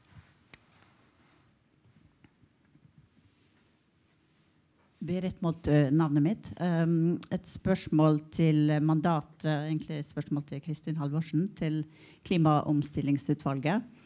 Uh, hvis dere skulle tatt hensyn til uh, begge FNs uh, mål, også ikke bare klima, men natur og miljø, hvordan vil det ha påvirka hovedkonklusjonen og anbefalingene i, i rapporten? Uh, så det var, det var ett spørsmål. Uh, kort. Uh, til um, IEA-rapporten og um, poenget der om leiting, nye felt, har jeg sagt. Vi ser at man veldig fort da går i en sånn skyttergrav. kommer tilbake til den gamle skyttergraven med sluttdato på den sida og fortsetter som før på den andre. Og så virker det som vi glemmer hva det vi skal legge i videreutvikling av olje- og gassindustrien. Og, og hvis, um, hvis, et av uh,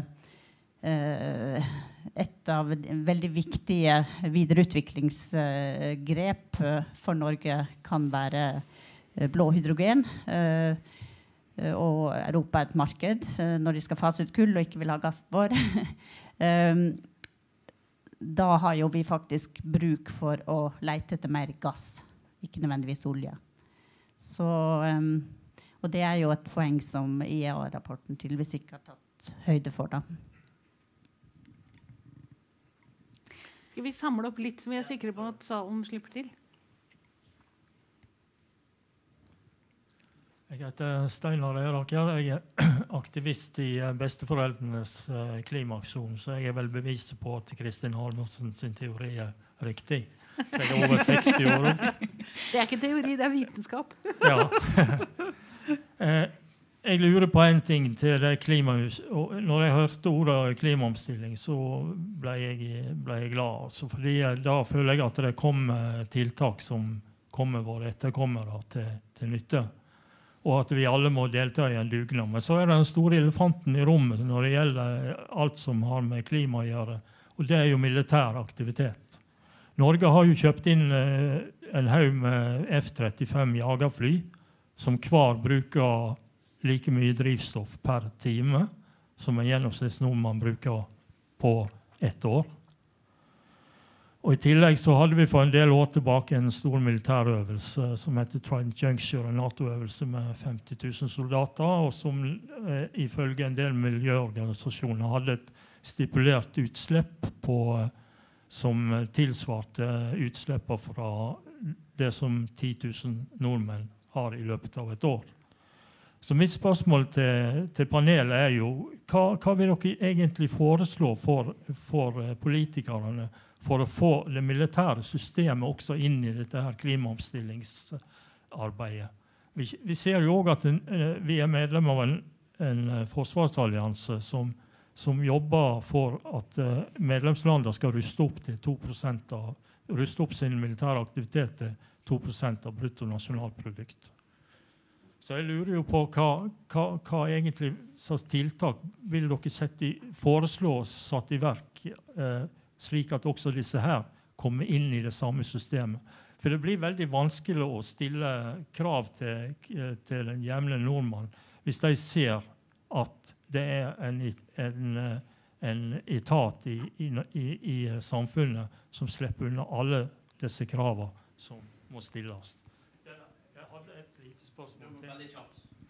Jeg lurer på om, om eh, om eh, dere vil foreslå at uh, Miljøverndepartementet, det er vel de som i dag styrer klimadelen, de, at de i framtida bør få økt makt, sånn at de kan mulighet til å blande seg inn i andre departement sine ansvarsområder. På samme måte som uh, jeg oppfatter at Finansdepartementet har det i dag.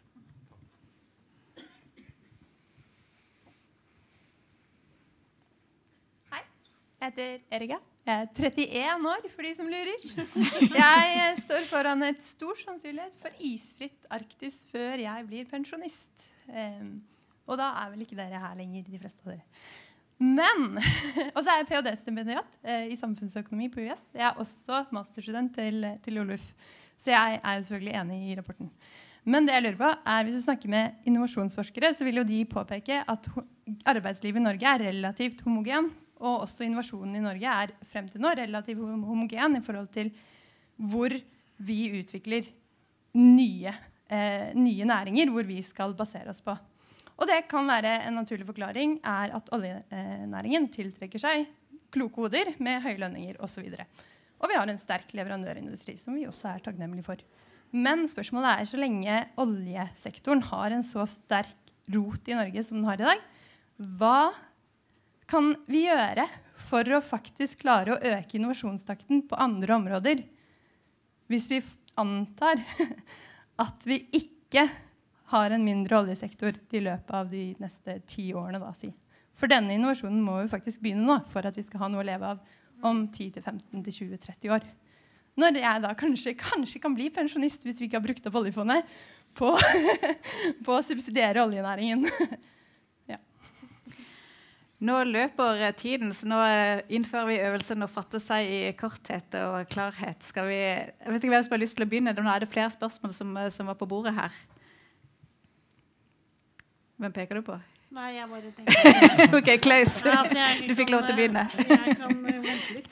jeg tror jeg har lyst til å ta tak i det siste. Uh, jeg tenker nok igjen på det spørsmålet at kunnskapsutvikling eh, blir viktig. At vi må legge til rette for en forskningspolitikk som stimulerer til kunnskapsbygging på de områdene vi eh, mener er viktige. Og at vi legger til rette for innovasjonsaktiviteter som igjen da tar sikte på å ta den kunnskapen i bruk. Eh, både i privat og i offentlig sektor.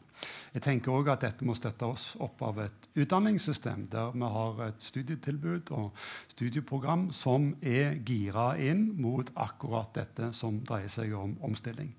Det kan skje ved at vi etablerer og utvikler nye program som vi ikke har hatt tidligere. Men det kan òg skje ved at vi endrer og justerer tidligere program eh, ved Universitetet i Stavanger, som har generalisert petroleumsprogrammene til å bli mer eh, eh plattformer for eh, energiingeniører. for å si det sånn. Så den, det gir mer fleksibilitet og, og, og kan bidra i den eh, sammenhengen. Men, men, til slutt også, så tror jeg at det kan være nyttig og interessant å vurdere å legge inn elementer av bærekraft, grønn omstilling og innovasjon i for å si litt enkelt, alle utdanninger. Sånn at dette gjennomsyrer hele utdanningssystemene, og ikke bare de ingeniørutdanningene linærutdanningene vi kanskje normalt tenker på her. Så der er det et uh, spekter av aktiviteter fra vår kant fall, som jeg tror kunne trukket oss i rett retning. Kristiane, har du lyst til å eh, Ja, bare å legge til litt uh, det uh, Klaus sa. Jeg tror også vi skal tenke mer utdanninger som går litt på tvers. Altså at du, du trenger noen fag Eh, der og noen fag der som, som vi tradisjonelt ikke har kobla før, men som, som, må til. Altså du trenger ulik kompetanse for å kunne møte de, de utfordringene som kommer. Eh, ikke bare ulike mennesker jobber sammen, men òg menneskene trenger eh, ulik kompetanse. Mm. Uh, nå hadde jeg glemt spørsmålet. Det var her, så, så utslipp fra militæret, militære utslipp, og så var det mer makt til Klima- og miljødepartementet. Ja, jeg, jeg, altså Jens Stoltenberg han var jo ute nå og sa at militæret kunne ikke, eller Nato kunne ikke være, uh, unndra seg uh, klimautfordringen. Så det er vel eneste svar jeg har der. Uh, det neste var Miljødepartementet, der var jo utredningen, altså når Miljødepartementet ble oppretta i 71, så var jo utredningen at de ønska et superdepartement som skulle egentlig stå over eh, Finansdepartementet. Det skulle, skulle, være Ressursdepartementet som skulle ha den store oversikten.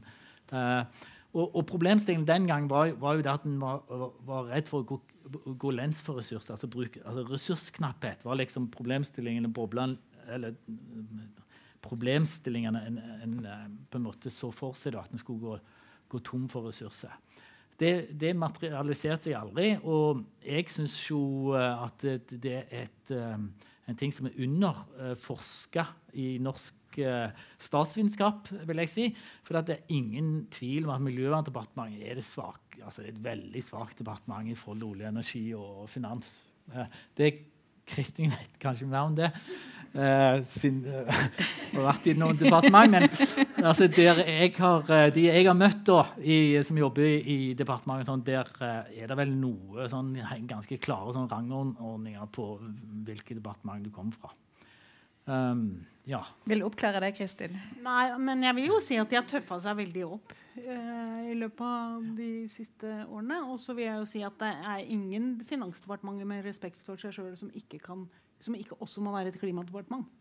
Altså, så dette må jo gjennomsyre alt og alle. Jeg tenkte jeg bare skulle svare på det som du tok opp om konflikt, sånn som jeg det, konflikt mellom klima og fornybar som vi antagelig kommer til å se mer av, fordi mm. land, altså kampen om arealene og vi har flere hensyn å ta, det er, det er vanskelig.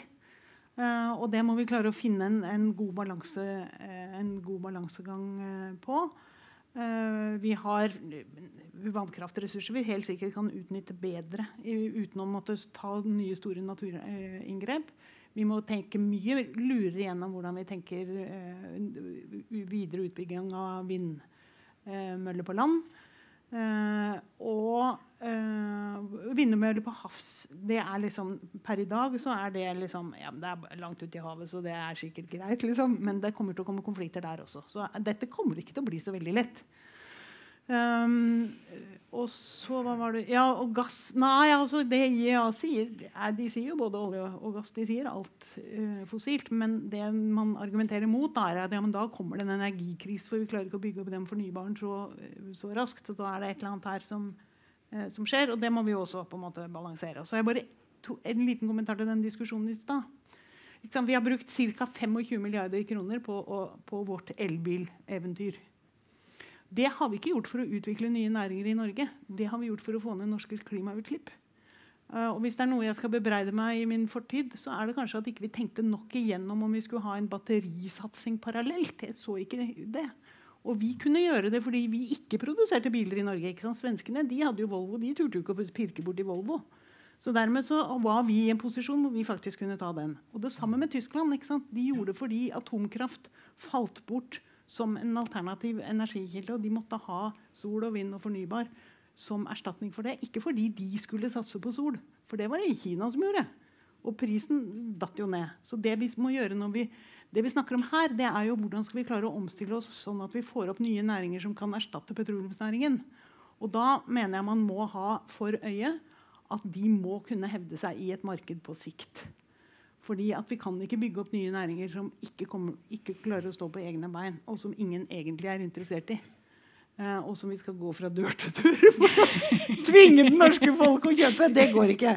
Så det er, eh, ikke sant, Når vi har det perspektivet, så må vi si ok, vi må støtte, vi må forske, vi må ha utviklingsmidler, vi må lage kreativ innovasjon osv. Og, og det kommer vi sikkert til å gjøre en stund. Men så er jo målet at det skal hevde seg i et marked, og at vi klarer å få opp noe som noen vil ha, og gi en pris for. Som ikke kommer til å være så høy som oljeprisen. Vi har seks minutter igjen, og vi skal få to korte, konsise spørsmål. Takk, Siddharth Sarinu. Yes. Uh, vi snakker om å investere eller bidra omkring 50 milliarder kroner inn til elektrifisering av uh, oljeplattformer. Så det, det, er en slags uh, tilskudd fra staten. Så vi, vi investerer jo i noen slags teknologi. Spørsmålet mitt er hvorfor ikke i 5 gigawatt uh, solenergi istedenfor så har vi solenergiklynger i stor opp, uh, oppvoksing i Norge. Det er som proven teknologi. Og, og så kan vi kanskje snakke om um, lavutslipp fra transport, som, uh, som, vi, som, er en femtedel av vårt utslipp. Fra um, konstruksjon og bygging. Uh, nå har vi som det er verdens første nullutslipps- og byggingsanlegg i Oslo. Så det er ting som skjer. Hvorfor prioriterer vi så at vi tar alltid høy teknologi som de løsninger vi satser på, som elbil, som er en slags dårlig uh, transportplanleggingsløsning. Uh, hvorfor ikke elbusser? Vi hadde de første to i Norge, i Stavanger, for seks år siden. Nå har vi fem. Så er det 100 som kommer til Oslo, til Bergen. Hvorfor ikke bare enkeltløsninger som eksisterer, og som vi har bruk for? Hei. Katrine Karlsson, stipendiat på UiS. Eh, jeg lurer på hvilke tanker dere har om lovgivning i arbeidet med klimaomstilling. Og tenker da på Shell, som nylig er blitt dømt til å kutte klimautslipp med 45% innen 2030. Vi har i Norge fått en klimalov som knytter oss til Parismåla. Men samtidig at et klimasøksmål som har sagt at det ikke hører hjemme i rettssalen å diskutere klima. Eh, hvordan kommer det til å se ut framover? Hvem vil hive seg på? Skal vi ta første gode, gode transportløsninger først? Ja, Klaus? Jeg kan godt kommentere Siddert. Uh, I alle fall juss har ikke så mye greier på. Men det jeg er hjertens enig i, det er at det er på denne måten man må betrakte de ulike politikkene og tiltakene. Man må få opp alternativene, og så må man veie uh, fordeler mot ulemper. Og så må man ta de alternativene som bringer oss de lengste skrittene i uh, rett retning. Jeg er vel blant de som er skeptisk til eh, eh, storstilt eh, bruk av eh, statsstøtte for å elektrifisere olje- og gassvirksomheten på norsk sokkel. Og jeg kan se at det eh, kan få ned utslippene. Men jeg tror ikke at det fulle kostnadsbildet for samfunnet er avdekket av de tiltakene. Og Man må kjenne de fulle virkningene og de fulle kostnadene før man kan ta stilling til dette. Og Det må i tillegg sammenlignes på tvers av alternativer. Så det tror jeg er en veldig, veldig god innfallsvinkel. Takk. Skal jeg bare ta runden for en sånn avsluttende replikk, og der kan dere svare på de spørsmålene dere ønsker også. Kristiane? Ja, nå må jeg tenke. Um, Vil noen ta jussen? Skal vi begynne der, eller skal noen eh, Ja. Ja, jeg, jeg, kan jo prøve meg på juss som statsviter. Altså, uh, Høyesterett og sånn i Norge har ikke hatt så veldig mye å si overfor Stortinget jevnt over. Så um, altså, vi har jo hatt en tradisjon der uh, vi har egentlig hatt en lite sånn uh, legalisert innblanding i, i, politikk. Og hvis uh, Høyesterett har prøvd seg, så har som regel Stortinget bare endra loven, og så er vi ferdig med det. Så jeg kjenner litt dårlig hvordan det er i, i Nederland. Men det som vi kan være helt sikre på, det er at det vil komme mer og mer forsøk på å rettsliggjøre klimapolitikken. Både overfor enkeltselskapet og Norge som nasjon, som har tjent gode penger på, på, olje og gass med et gedigent oljefond. Det kan godt være at det blir et uh, søksmål en eller annen gang mot Norge som, som, uh, som olje- og gassnasjon. Det vet en ikke. Men at noen vil gå den retningen, det er jeg helt overbevist om. Ja. Skal jeg gå tilbake til Sids spørsmål? Um, jeg tenker at, at uh, hvis ikke Norge hadde hatt den historien vi har, så hadde vi kanskje satsa mer på ulike eh, teknologier.